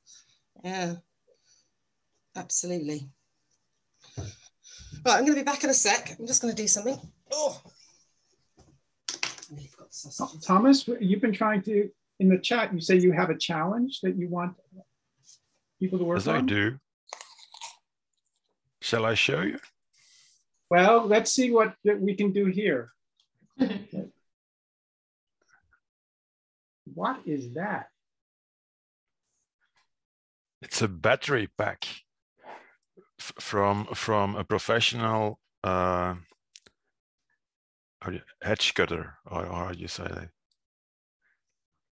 And the, the challenge is, uh, how do you remove uh, 70 uh, one-way screws?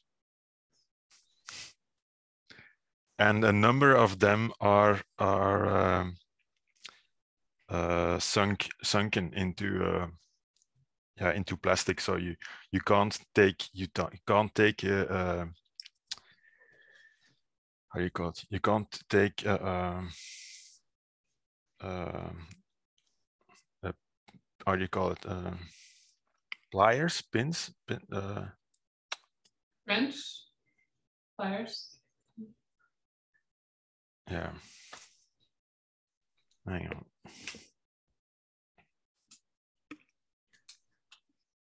Yeah, what's th- this? That's a pliers. Pliers. Needle needle nose pliers, we would call Yeah. it.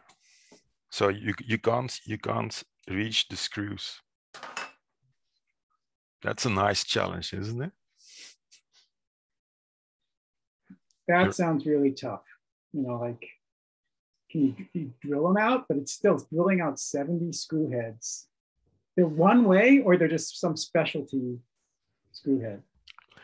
It's the the the, the one way uh, screws which you screw in with a, a flathead uh, screwdriver. Yeah, no, that sounds really, really tough. So so it's not a security Torx or a tri wing or anything like it. No.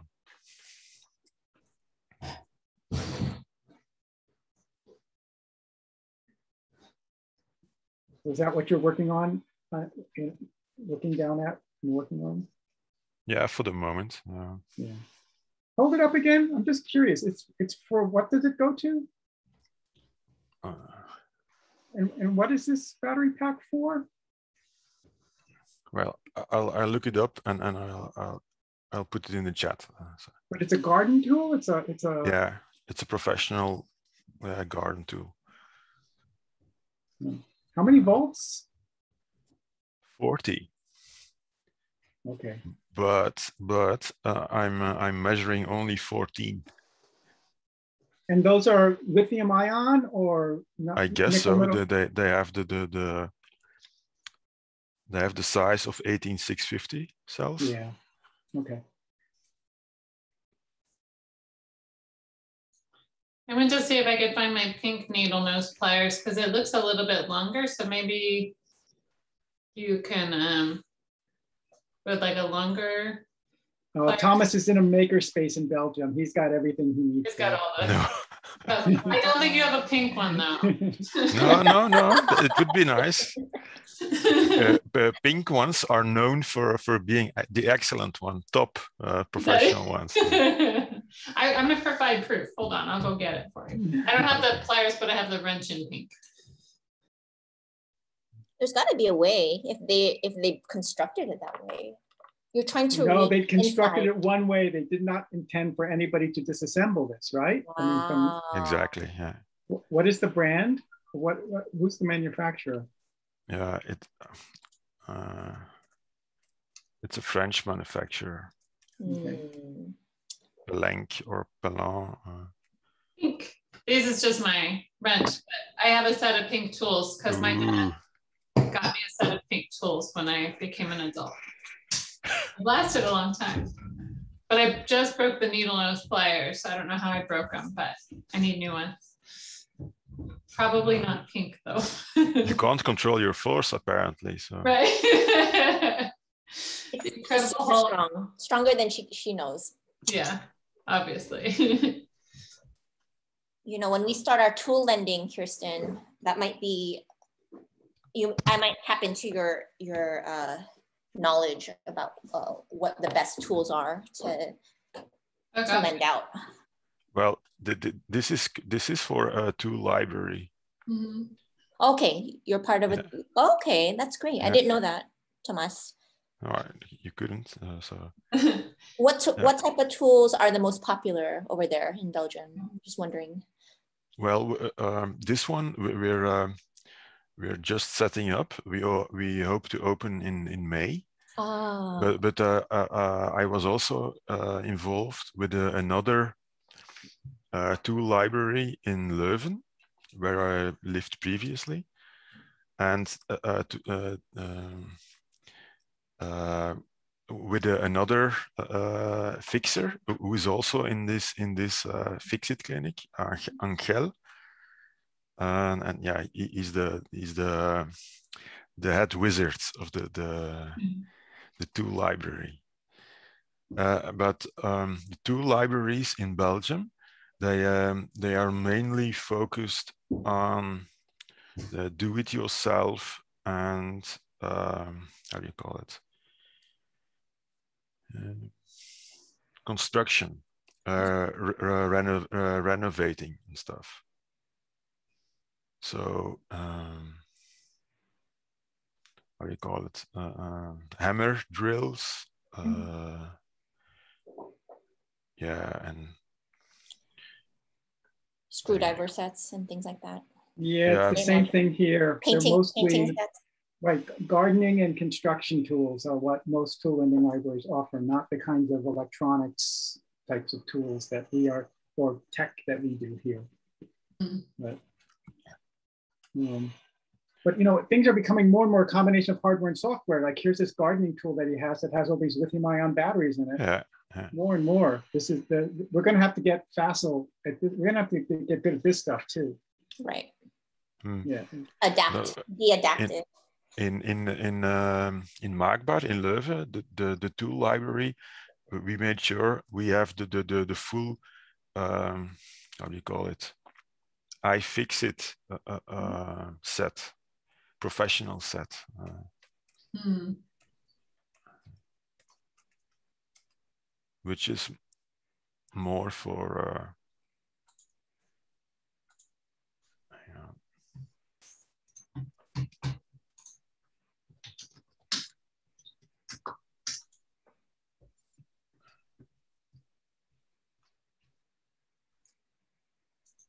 Come on.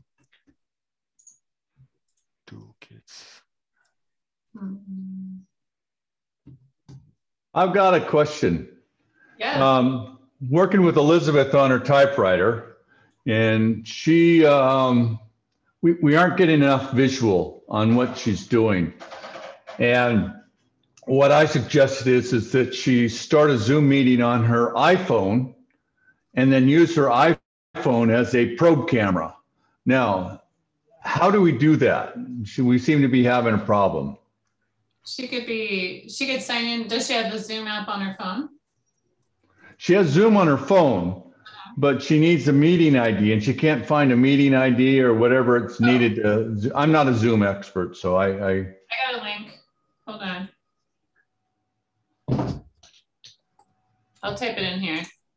Do, do you want to go to that meeting and then uh, Which one, Elizabeth?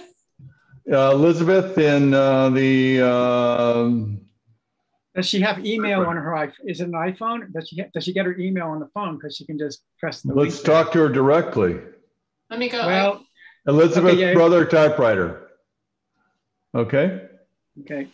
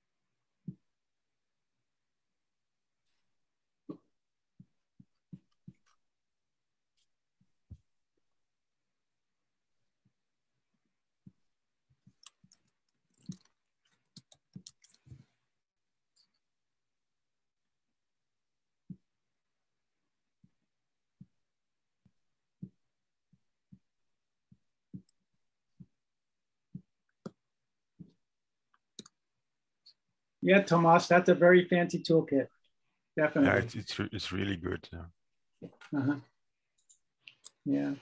If you come to the United States, you should go to visit iFixit in San Luis Obispo. I'm friends with the founder, founders Kyle and Luke. I've stayed at Kyle's house. They are they're great people, Oh, nice. and it's just a wonderful, wonderful facility. I mean, he's got he's really got a wonderful setup there in San Luis Obispo. It's a beautiful place to visit, and Okay. Um, amazing. You know, just Yeah, it, just we, we need people like like him to to to make sure that we, we are able to repair stuff, huh? Yeah. Okay, so Molly, looks like Molly's back to report on the oven. You want to hit it, Molly? Sure, yeah. I, I'll hand over the, the reporting to Eric because he's gonna have to decode a lot of what happened to me later because it moved very quickly for my skill set. So uh, we we determined that the the the burner on the oven is operated by uh, a temperature sensor that is probably a, a capillary tube that has fluid in it that goes up and, and pressurizes something in the control knob. Um, so we took the control knob all apart, which you know, it was amazing that you could do it, but this is from the 60s. So you could take literally everything apart down to every nut and bolt. And got in there and, and examined the mechanism and sort of figured out how it worked and how the adjustment mechanism worked. Um, and got to the point where I think we can we can heat it up. We can take a heat gun and, and heat up the sensor in a controlled manner and see if we can see the, the action the actuation happening in there and then uh, either either it works or we're hunting for a new switch because there's no there's no disassembling it any further than we already did but it was extremely helpful to have um, have people helping me try to wrap my head around the electrical versus the mechanical and uh, have some familiarity with how these type of sensors work which i i didn't have any it was great Yeah, and so I had a couple of Fixit coaches actually email me in advance, and they thought that uh, um, it was like a twenty dollar part from Amazon you could order to replace the entire thing. I'm trying to find it now. Hmm. Um, that, that apparently, yeah. Sorry, I'm, I'm going to have a hard time doing this while I'm still on the Zoom, but maybe, but Molly, if you reach out to me or I'll put it in the Global Fixer server or something. There were a couple of people, one of the, one of the positives is that some of the Fixer coaches want to do research ahead of time, but that steals away from sort of the scripting of these things. So it's like, it's much more boring if we just tell you, oh, we know the answer. And it's possible they don't know the answer, okay? They're, they're speaking with incomplete information. So, um, so I'll send you, I'll send or forward you that email from that other fixer at some point. Geez, you know, this is one of those cool things where if I could just put it in the chat now, we could all look at it, but I'm never going to find it. Yeah, there probably are a lot of generic, you know, um, capillary tube temperature sending units, but this looks like a pretty specialized mechanical interface between the the tube and the knob. I don't know how easy it, it would be to incorporate a different um, sending unit, but Okay, thanks for that feedback.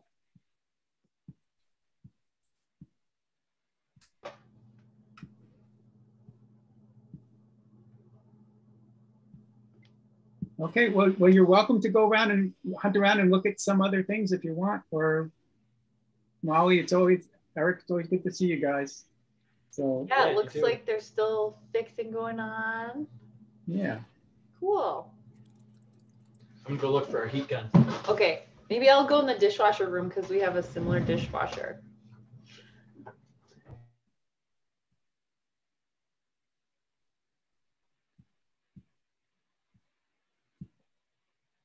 So Kirsten, we could also figure out how to start winding this down. I mean, we've been at it since we started putting people into breakout rooms like one third, like sorry, eleven thirty or so. Should we go to the breakout rooms and see if people want to wrap it up?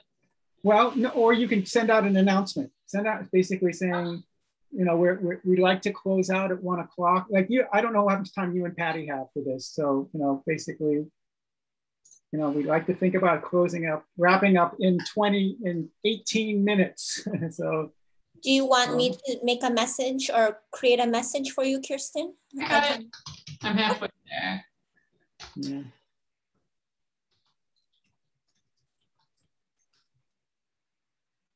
Hmm.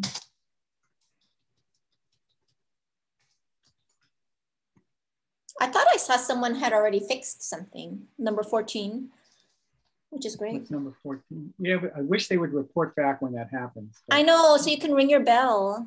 You can do it when when we come back. Thomas, you were in room 14.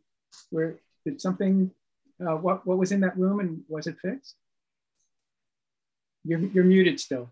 Yeah, I, I arrived in, in room 15, 14. The, the lady from the opera was there with. Oh, it's uh, Joanne sewing machine. Okay. Yeah.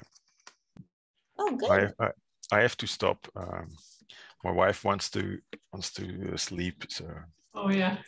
it's uh, 20 to 10. So uh, it was nice seeing you back, and uh, yeah, have a nice weekend. Bye. Thomas, are you on the are you on the global fixer? I know I keep flogging this thing, but are you on the global fixer server? Uh, not yet, but I have to go now. Okay. Bye. All right. Thank you. Bye. Bye, Thomas. Bye. See you later. Bye.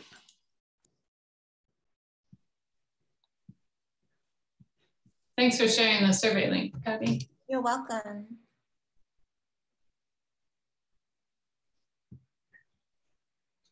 Did you know that Berkeley and I know Berkeley's tool collection is accessible online, I think, their list, and um, Oakland probably.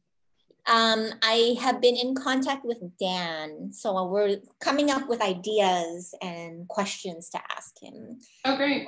We already have our um, green induction uh, um, stoves, so that's one thing. And then we had a bunch of um, craft uh, materials, crafting materials, like gardening materials that we want to loan out to people. So it's a start. Yeah. We want to spread it out and just um, do a soft open by the end of this year at least, and add maybe we could add some science kits for the kids and adults. I think adults like astronomy and things like that, and They bird did- watching. Livermore did like robot kits where you make your robot and program it and stuff. That's really cool. Yeah. That's a fun idea, Kirsten. Yeah.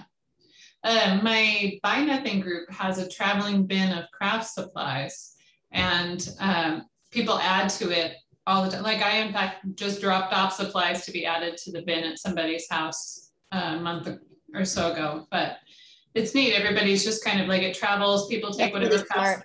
Crafts take a lot of. Thank you. That's really smart because a lot of craft um, materials are kind of expensive. When you, I was at Hobby Lobby yesterday and looking for some crafts for adults, and it's like, what do you do with with with it when you are done with that craft? You know, I'm sure there's like things that you can scrap or that you can share, and it's funner. So, Mhm. or if you give up on the craft, which happens a lot, you could pass it on. I did. to the universe. I did. I had some fancy art supplies that I shared with somebody because, you know, I it was sitting in a drawer taking up space and I wasn't using them. So I found somebody who wanted them. Right. Right. And it's now more than ever, it seems like people are wanting to create and um, cr- use their creative muscles to do good. So I like it. I like the idea. So we'll probably have a mix, not just tools, but science kits and craft kits as well. So My friend that's my that's my vision. My friend works at that library in Berkeley, and she said it's a little humorous because the people who work in the tool lending library are like tool people, right?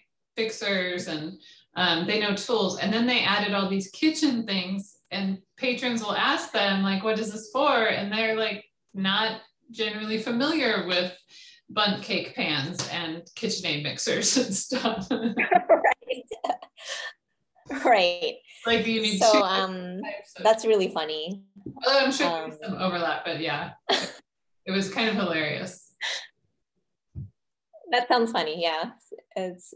I I love the um the way that you can interpret tool lending or a library of things. So we're gonna call it library of things, but we definitely want to have tools. So this is helping me a lot, especially what Tomas sent me uh, or sent us that that picture.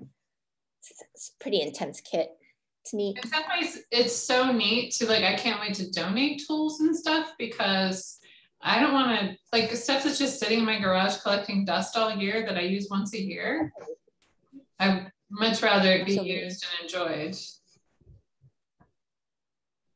The thing is, my vision would be that it stays in your garage until somebody needs it. Yeah. And then it moves to somebody else's garage. I mean, that somehow it's sort of like speaks to this broader wealth. I mean, I'm happy to sort of make the library center central to this, but I know a library, a lot of libraries are having trouble with that. And then if you have something big like a rototiller or something, you don't really want to store that at the library. You don't have the room. So I'd love to think about some way that we could keep that stuff around the city in some way. Or, you know, maybe Faye has some sort of corporation yard or something for the city where she can keep some of the bigger stuff. Or, or at least some, some, I'd love to create some virtual way for all those things in San Leandro. But that, that's what I've been talking to Kirsten about is, you know, can we create some sort of virtual community mm. loaning system regardless? You know, that I mean, I definitely see the positives of because that's what I, I first thought of. I'm like, how are we gonna have these lawnmowers and ladders and you know, and then I think of our our staff here and them like having to um, transport things and help people get them. But that's a that's a really smart question about like having it kind of like an umbrella and having a lot of the larger materials and a lot of the larger machinery stored somewhere else. Because I, couldn't see that at first. I was like, are we going to limit ourselves to small things? But I don't want to because obviously people need big, big machines too. So for me, it's about the sewing machines. So two things are happening with sewing machines. One is that the best sewing machines ever made, the ones with the steel gearing and stuff, are basically from like the 1950s to the early 1980s. And there, and yet I see people who, you know, it's in the closet, they bring it out, they haven't oiled it in 30 years, it doesn't work. They figure, oh, this is a piece of junk. I'm going to throw this away and buy a new one at Target or something, which really is junk, which has plastic gears and all that stuff. Right. So I'd love for basically all the sewing machines in San Leandro from that vintage, from the 50s to this early 70s, or you know, early 80s, to just be living in people's closets till somebody needs one, and then move it along to the next person's closet. Yeah, I, I, I sorted a friend of mine saying she bought a sewing machine secondhand 20 years ago. It sat in her mother's house and then she got it back recently and all it needed was lubrication because it had just sat there and it was fantastic. It just needed some help. And like you say, Peter, some of the older sewing machines are amazing. Mm-hmm. Absolutely amazing. Yeah. They're built like tanks. They can sew through heavy denim and fabrics, you know, and and the God, modern yeah. ones that people and and there there's nothing wrong with them. you know? Yeah. So In fact, I think the re- the reason that um, this sewing machine I'm working on isn't working because it's a cheap one. You know, I I don't know if you have Lidl and Aldi in the states, but it's a bit like Target. Mhm. You you know, that kind of thing. Discount base. Some locations. Okay, Sorry? looks like Cook, Cook- is Cookie back to report on her dishwasher? Tom- Tom, were you in that room too? Yeah, I was part of uh, the group uh, working on Cookie's dishwasher and um, her. Wait, can, issue wait, wait, let's see. Wait, Cookie, can, can, can Cookie tell us what her issue Oh, is? sure. Yep, that would be great. Cookie, are you willing to unmute and tell us what went down? Actually, it's room? Christina. Oh, okay, Christina, okay. Um, so I learned how to remove the arm on the bottom and we looked at the um, filters and then uh, I put some detergent in and we um, ran a cycle or two and uh, in addition I um, someone told me how to uh, I learned that there's a there's an arm on the top of the a small arm on the top of the dishwasher and uh, how to check that the drain hole or that the um, cleaning arm holes are clear by um, by turning it upside down and uh, running water in it in the sink and then looking to see if it comes out all of the holes. Um, and it seems that probably oh, the dishwasher is not heating the water because although it was somewhat steamy, it wasn't super steamy, um, which is apparently uh, a challenging thing that involves removing the dishwasher from. So we uh, removed the panel at the bottom and uh, we kind of took a tour uh, and, and like looked at the screws at the top. Uh, so if I were to There we go. get Hello, you all. Are you hearing me now? Yep, and Christina's giving her report right now. uh, if I were to, to get ambitious and try to try to uh, take the next step of like pulling the, the dishwasher out and apart and everything, um, I think I understand how I would do that. And then it's kind of a question of whether I feel comfortable doing that, which is another matter because uh, live electricity and whatnot. But um, I know more about my dishwasher and I feel like uh, it is fixable. So um, like paying someone to come wouldn't be a waste of money of them saying like, no, no, you need a new, new dishwasher. So that's, that's very helpful. Tom, did you want to add anything to that? Um, I think she pretty well covered it, but basically we ran through uh, different aspects of the cycle and we verified water is coming in, uh, the motor is running and spraying water. Then we verified the drain pump is draining.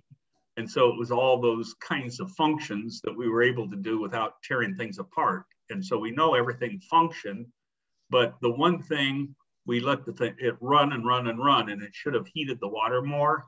And it didn't seem like the water was getting hot. So that's a real suspect. And that does require then getting further into the machine. And that's what she was talking about is maybe next time, you know, uh, she'd, if she's got the courage to do it, we would walk her through that process of uh, actually removing the dishwasher and looking for the heater to uh, check that out and possibly replace it. Okay, thank you. Anybody else in that room want to add anything? Okay, all right, so I see Myra's back. Myra, why don't you tell us what, what transpired? Well, um, let's see. What transpired is we spent considerable amount of time trying to get the cables back in in such a way that I could actually put the rest of the print head and everything else in. And um, we never did quite get it correct. And then there was a little clip along the side that the cables were supposed to go in, but it wasn't real clear whether all of the cables were going in there or some of them. But in the process, it was just a little bitty plastic piece, which I can show you. Talk about small and thin. There it is. And it broke off. So now the question is uh, how to affix those cables where they're supposed to be. And Brian has suggested some sticky tape. And so I'm going to try that. But I'm, uh, it's still not quite clear. So it's really what he suggested is uh, that I get somebody to help so that somebody can hold one thing while I'm doing another thing. And also that I uh, go back and really start from the beginning and look at how it all came out so that I could know better how to put it back in. So I am going to try those various things to see if I can um, get it to work. At least there's a video, which um, Brian has found for me, which is very good. And I will see if I can get my configuration to look like that configuration and put it back in. So if not, I may come back in a month from now and we'll try this again. And I do have um, Phil also help me and um, I'll see if I can do this, but I think I need patience and um, perhaps a helper. So that's that's where I am, and it's not working yet, but I know a lot more than I did a few hours ago. Okay. Okay, thank you. Thank you, Myra. Anybody else who was in that room want to add anything? I'll just just contribute briefly, if I may, Peter, because um, uh, in, in, the United Kingdom, we have something called British summertime, and that's what we're on now. So you may all think it's the morning. Here it's nine o'clock at night, and I'm getting a bit weary after after a day with the grandchildren. I'm just about done for now. Um, uh, Myra's pretty much summed up where we've got to. I think, I mean, she's incredibly tenacious and has done an amazing job on this. But it's a it's a kind of job where if she was down the road, I'd go down and say, two pairs of hands will sort this um, and I know that California is a very small part of the world, so there's bound to be someone nearby. I mean, so many of you from California, it is just down the road because we don't, you know, we only have about eight miles in England now left. um, if someone could, if someone is available, so you can call upon someone to help her. Um, the main purpose of that, seriously, is that someone can look at the video which she's got, which I've put up, and you can all see, um, which will enable someone to look at the video and get the cables in the right order I, am fairly positive that this can be put back together again and that little bit of plastic that snapped off is not the end of the world. But quite honestly, we just ran out of time. Um, so I think if someone can, if, she, if Myra has someone that can give her a hand, that would be great. Um, and I know that Phil has been, my colleague Phil from this part of the world as well has been uh, advising her. So we'll do what we can to get you through it. And um, next time we see you, you'll be printing stuff, I'm sure. And if you don't mind, I'm going to go now, but it's been really great seeing you all. Okay, thank you so much again, Brian. Yeah, I've got to go and say goodbye to Prince Philip. Okay. Thank you, Brian. Bye-bye. So I saw Elizabeth with her typewriter, but looks like she she left without reporting back. Uh, I was in that room. And what we did, we had a, a, a real challenge uh, just getting so far on it that the information available was pathetic at best. Brother just didn't support this product at all. So, but be that as it may, we were able to get the top cover off, and uh, she did discover once we got the top cover off that there was uh, uh, a lot of dust on uh, some gears and cables and pulleys and things like that. And so she was going to go clean those up and then she thought she was confident that she could get it back together again. And there, there was only one question. There's this correcting tape that needs to be rethread, and that could be complicated. Uh, a couple of things is she wants to come back in a, in a month. If she doesn't get this corrected, you know, if it's not working after she gets it all back together, she might need some help there. And she would like to continue on trying to fix this thing because apparently it has, uh, well, I, I applaud her on her persistence. The other thing, though, is that when we grabbed Kirsten to come in and, and uh, have her looking up the iPhone, that was that was really key because she could then put the iPhone inside and we could look all around. Now we need a way to easily connect up the iPhone. It was pretty easy once we knew how to do it, but we need to be regular at doing, having people hook up their, uh, connect their phone to the, uh, to the meeting that we're having here. Um, there was another part of that, uh, connecting up. Let's see. Well, I forgot. I'm an old guy. Anyway, so having the, uh, having the phone another phone, another camera available. So we can look at, look in there. That's, that was really helpful. Okay, and I see Rachel's group is back. Rachel, are you ready to report back on the um, toaster oven? Rachel? Okay. Somebody else in that room. A whole bunch of you are back now. Yeah. So, um, we spend we spend most of the time figuring out how to take the unit apart because uh, Rachel didn't have a long screwdriver, which you need to enter from the sides to take the feet up. But eventually we figured it out. We took it apart and uh, um, uh, we didn't get too far uh, with the actual uh, um, analysis because the heating elements are, uh, you know, they are well insulated and they go behind the circuit board and uh, all the wires are bundled. So it's hard to like reach in there and uh, measure things up. And uh, we did measure a few of the heating elements. It's a, we looked at the service manual that we found. It has five heating elements and a fan, and each one is powered separately with a triac. So it's clearly not a thermal fuse or something because that one is common to all of them. And because the fan comes on, you know that uh, um, the power is getting to all the heating elements, just the microprocessor is not powering them up or they are maybe uh, the heating elements are there. But we can't, we couldn't measure them because it's hard to access.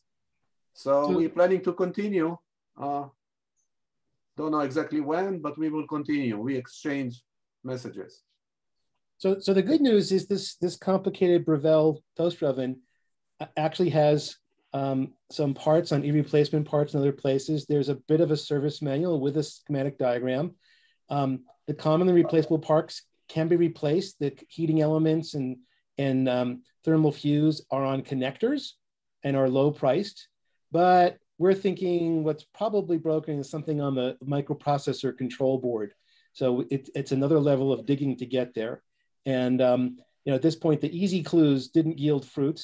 Um, the next step would be put it on a bench with a meter, take it through the cycles while it's powered on and see what's going on to get some more clues, which is obviously beyond the scope of what we're doing right today.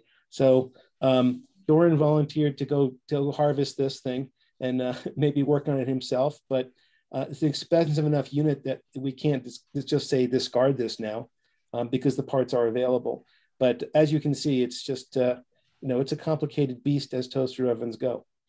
Um, but worth worth the next effort. But it's a 300 level repair at this point.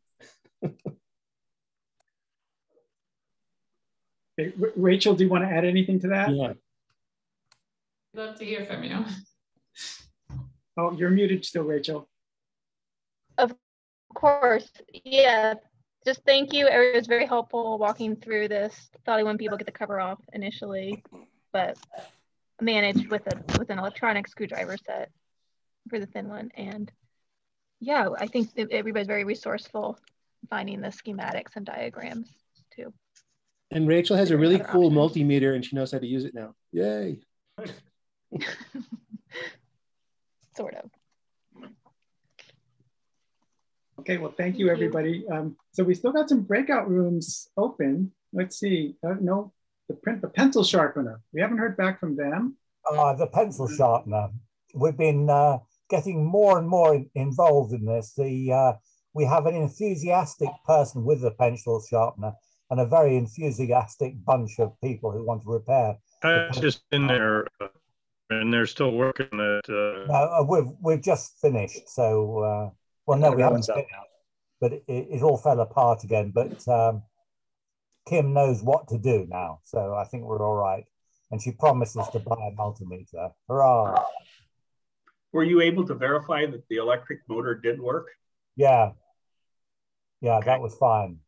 And the switch mechanism worked? Well, that's that's I think that's the the most suspect part in that uh, the switches. I think the switch contacts, which are just um, leaf springs of copper or something or brass, uh, just need to be cleaned with a emery board or a, or a file or something, because there is certainly some corrosion around there. And I hadn't cleaned that part. So Yeah. Oh. So I will work on this. I'm thrilled. Thank you all so much. Thanks, Kim. Thanks for bringing a cool item.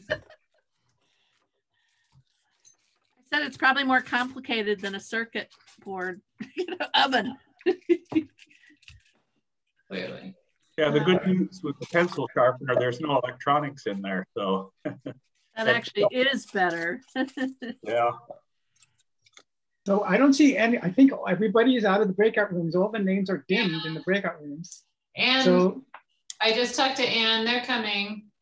Oh. They are not quite done. It. I gave them two minutes. They wanted three. Thank you for reminding us. Are you back in? Maybe not.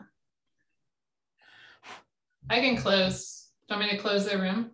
no, no, I don't think, um, that's, So I was curious um, on that Frigidaire stove. Were they able to do that? I may have missed the report on that. Molly's stove? Yes. I missed it. Did you hear Molly's update, Peter? yeah, yeah, they, um, they think it's a fairly complicated thing, but they got a lot of help in terms of moving it forward. So, Still a work in process then. it's uh it's a very nice stove to work on. You can take everything apart, including the the switch itself we took apart, but um, it's a capillary tube based, you know, remote temperature sending unit from the burner up to the switch. And it's most likely that the capillary tube is not functioning. He's going to try using a heat gun to actuate it and see if he can see any motion at the switch end. But it's most likely that it lost its seal or something, and it's um, it's a unique enough mechanism that I don't think a generic sending unit would work. Apparently, these things are available occasionally as new old stock or or pulls from other machines, but they're a couple hundred bucks a piece. So Oh. Can, Um, can you buy? can you bypass it and just make it a, a normal heating element instead of a fancy?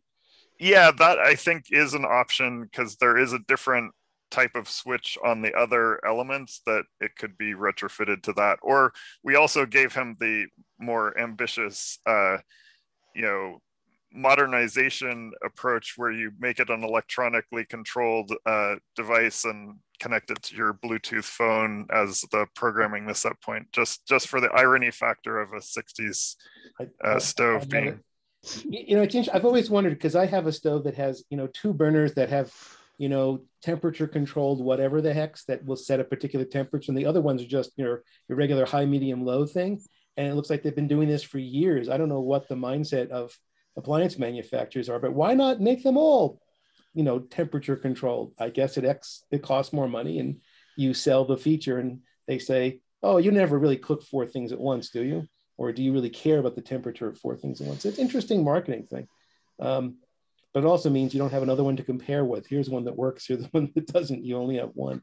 So I don't understand appliance marketing. So if I understand correctly, when you mentioned about the capillary tube uh, possibly losing its ability, uh, it sounds like it actually actuates a mechanical switch though that you can actually see and you can tell whether or not that's opening or closing mechanically. Yeah. Correct.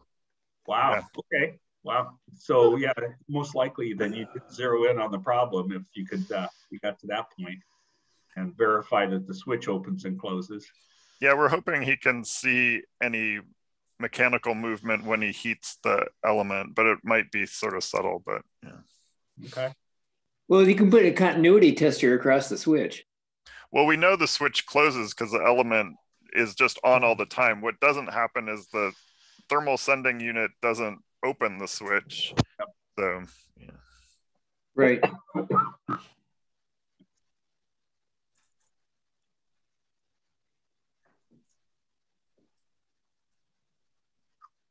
sorry guys, I'm gonna close the KitchenAid mixer room and move them to here since they're the, la- they're the sole survivor. I'm I'm gonna go. Been lovely to see you all. Hi Joe. It's ten past nine at night, and I'm gonna go sit and watch some telly with my niece. So see you all soon. Thank you. Bye. Night. Did Joe's machine get fixed? Not quite, but I've got some directions. What was the issue? It, the um, uh, the thread, the top thread wasn't looping with the bottom thread. The timing is off. With the, so it's it's a, a dance of that. Yeah, yeah. I work on machines, so I know. So you can probably find some directions to set the timing. It's not that hard to do. I've been I've been sent a link for a video, a YouTube video, and a manual. So I'm I'm going to uh, study those tomorrow. Yeah, basically there's two Allen screws on the on the hook. You loosen those, turn the machine to there's some marks on the sh- on the needle shaft. There's a Mhm. top. There's two lines that are scribed in it for timing. Mhm. You, you turn the wheel until that's in position, and then you move the hook till till it lines up properly, and that's pretty much it. Ah, good stuff. Right. Yes, I'm learning more. Yeah. Yeah. So okay, pretty much- brilliant. Pretty Thanks, much any guys. sewing machine timing thing will will give you what you need to know. Yeah. Okay, Okay. Anne, Anne, can you unmute? Bye, bye, Joe. Bye. You're still muted, Anne. Okay, there I am. Okay, thank you. Can you tell Okay, us? do you want, do you want me to, to talk or is somebody else in line? Yes, yes, please give us your My report. turn? Okay, this was excruciatingly interesting. um, we we figured that first of all, this is an older model. So what I had going in my mixer and my um, mixer was different from what um, Howard and the other men had going in their mixers. They had newer mixers. So what we're gonna do is I'm gonna go to eBay and Amazon and order the parts. And then I assume after I get the parts from eBay and Amazon, um, we're gonna come back to fix it and they're gonna go put me, walk me through install, you know, putting in the new parts. So that, as you said, that's an older mixer you have, which actually is probably better because it's more fixable. And it's actually got a governor on the back side that uh, controls the speed. And so That's as what we're replacing. Replace Pardon the me? governor. That's what we're replacing. It's actually Howard did a good diagnostics job, and it's the uh, phase control board, right, Howard? Yeah. It's the it's the phase control board and then the speed control board. There's two boards in there: a circuit board and a another board, a, basically a speed control board, and the governor uh, touches that speed control board, and the circuit board, the, the electronic component, has failed. Unfortunately, the speed control board, the mechanical portion of that assembly, uh, has no lugs on it. It's all soldered and it won't it's not really compatible with the replacement uh, mechanical part i mean the replacement electronic part. So uh, the conclusion we came to was replacement circuit board and the control board they should work with the governor that's in there. Uh, and then once she gets those two parts we're going to actually have to attach the power cord to the new circuit board and the new control board.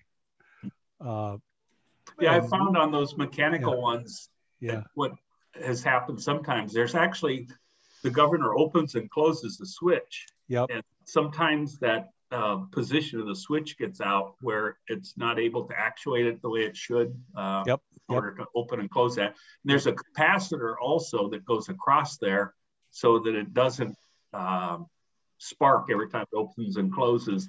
Right. And that capacitor sometimes goes bad, or there's a resistor in there also. that's what that control board is. That control board is the is those two things that kind of level out the uh, the activity from the governor.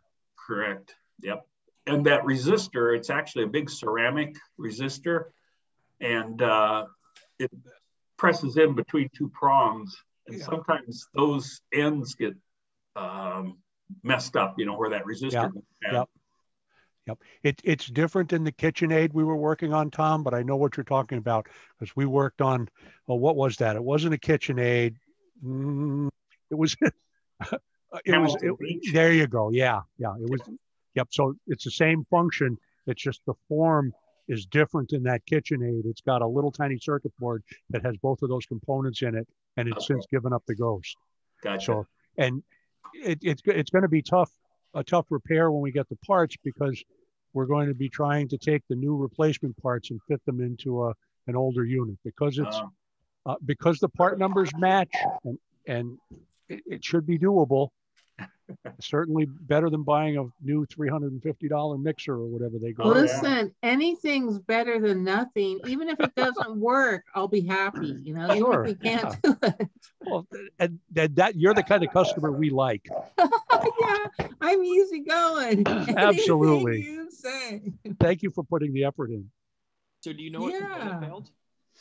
Uh, was it the triac or? Yeah, no, it, we haven't done circuit level uh, diagnostics on the board. It's probably beyond the scope of our uh, capabilities at this time. So all we're doing is we pointed her towards a twenty dollar board on eBay and a uh, there's a Yeah, the total's about thirty-seven dollars, I think so. Yeah, yeah, for both boards from two different places. so it's worth having a go. yeah, yeah. It's about 16 and, and 19 or something. well, there you go. Okay. Okay, Okay, I got it. I, I got it. I'm there. So today we've done great work. Thank you again for everybody for participating. Um, we, you know, it's been two hour, over two hours, but you know, look at look, we've got two full windows of people here still. So, but you want to leave while everyone's still having a good time. So um, I want to thank That's been why we're Kirsten. still here. for, for, for hosting us. And remember, we can continue to do this stuff on the Discord server too. So please join that because we're trying to get more activity there be, between these regularly scheduled Zooms, you know, to try and get more, more of this sort of collaboration going on worldwide. So What's the Discord server? I'll send you information. Kim, email me and I'll send you information on it. Okay. Calvin Holmes. Hey, Peter, Yes, there. Peter, Yes. Peter, is is this gonna this is gonna all be recorded so we can access it how? Like if we if I want to get back to the chat, is there a way I can access the chat? Yeah, I'll post the link to that. Email me and I'll post to you how to get to that. So I, I email you, I want the post to our chat on, okay, I will do that. No, well, I don't know if it'll have the chat in your window, in your breakout room.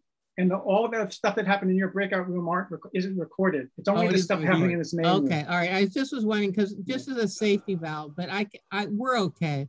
I recorded most of that information. Yeah, our chat went to everyone, unfortunately. I think it said everyone.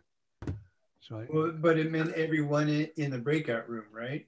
It said, it said, and this is Discord. What was that? What was that chat? Who said that? Peter, Someone said, and this chat is fixed. New questions are in the Discord. Somebody channel." send her What's the? Discord link.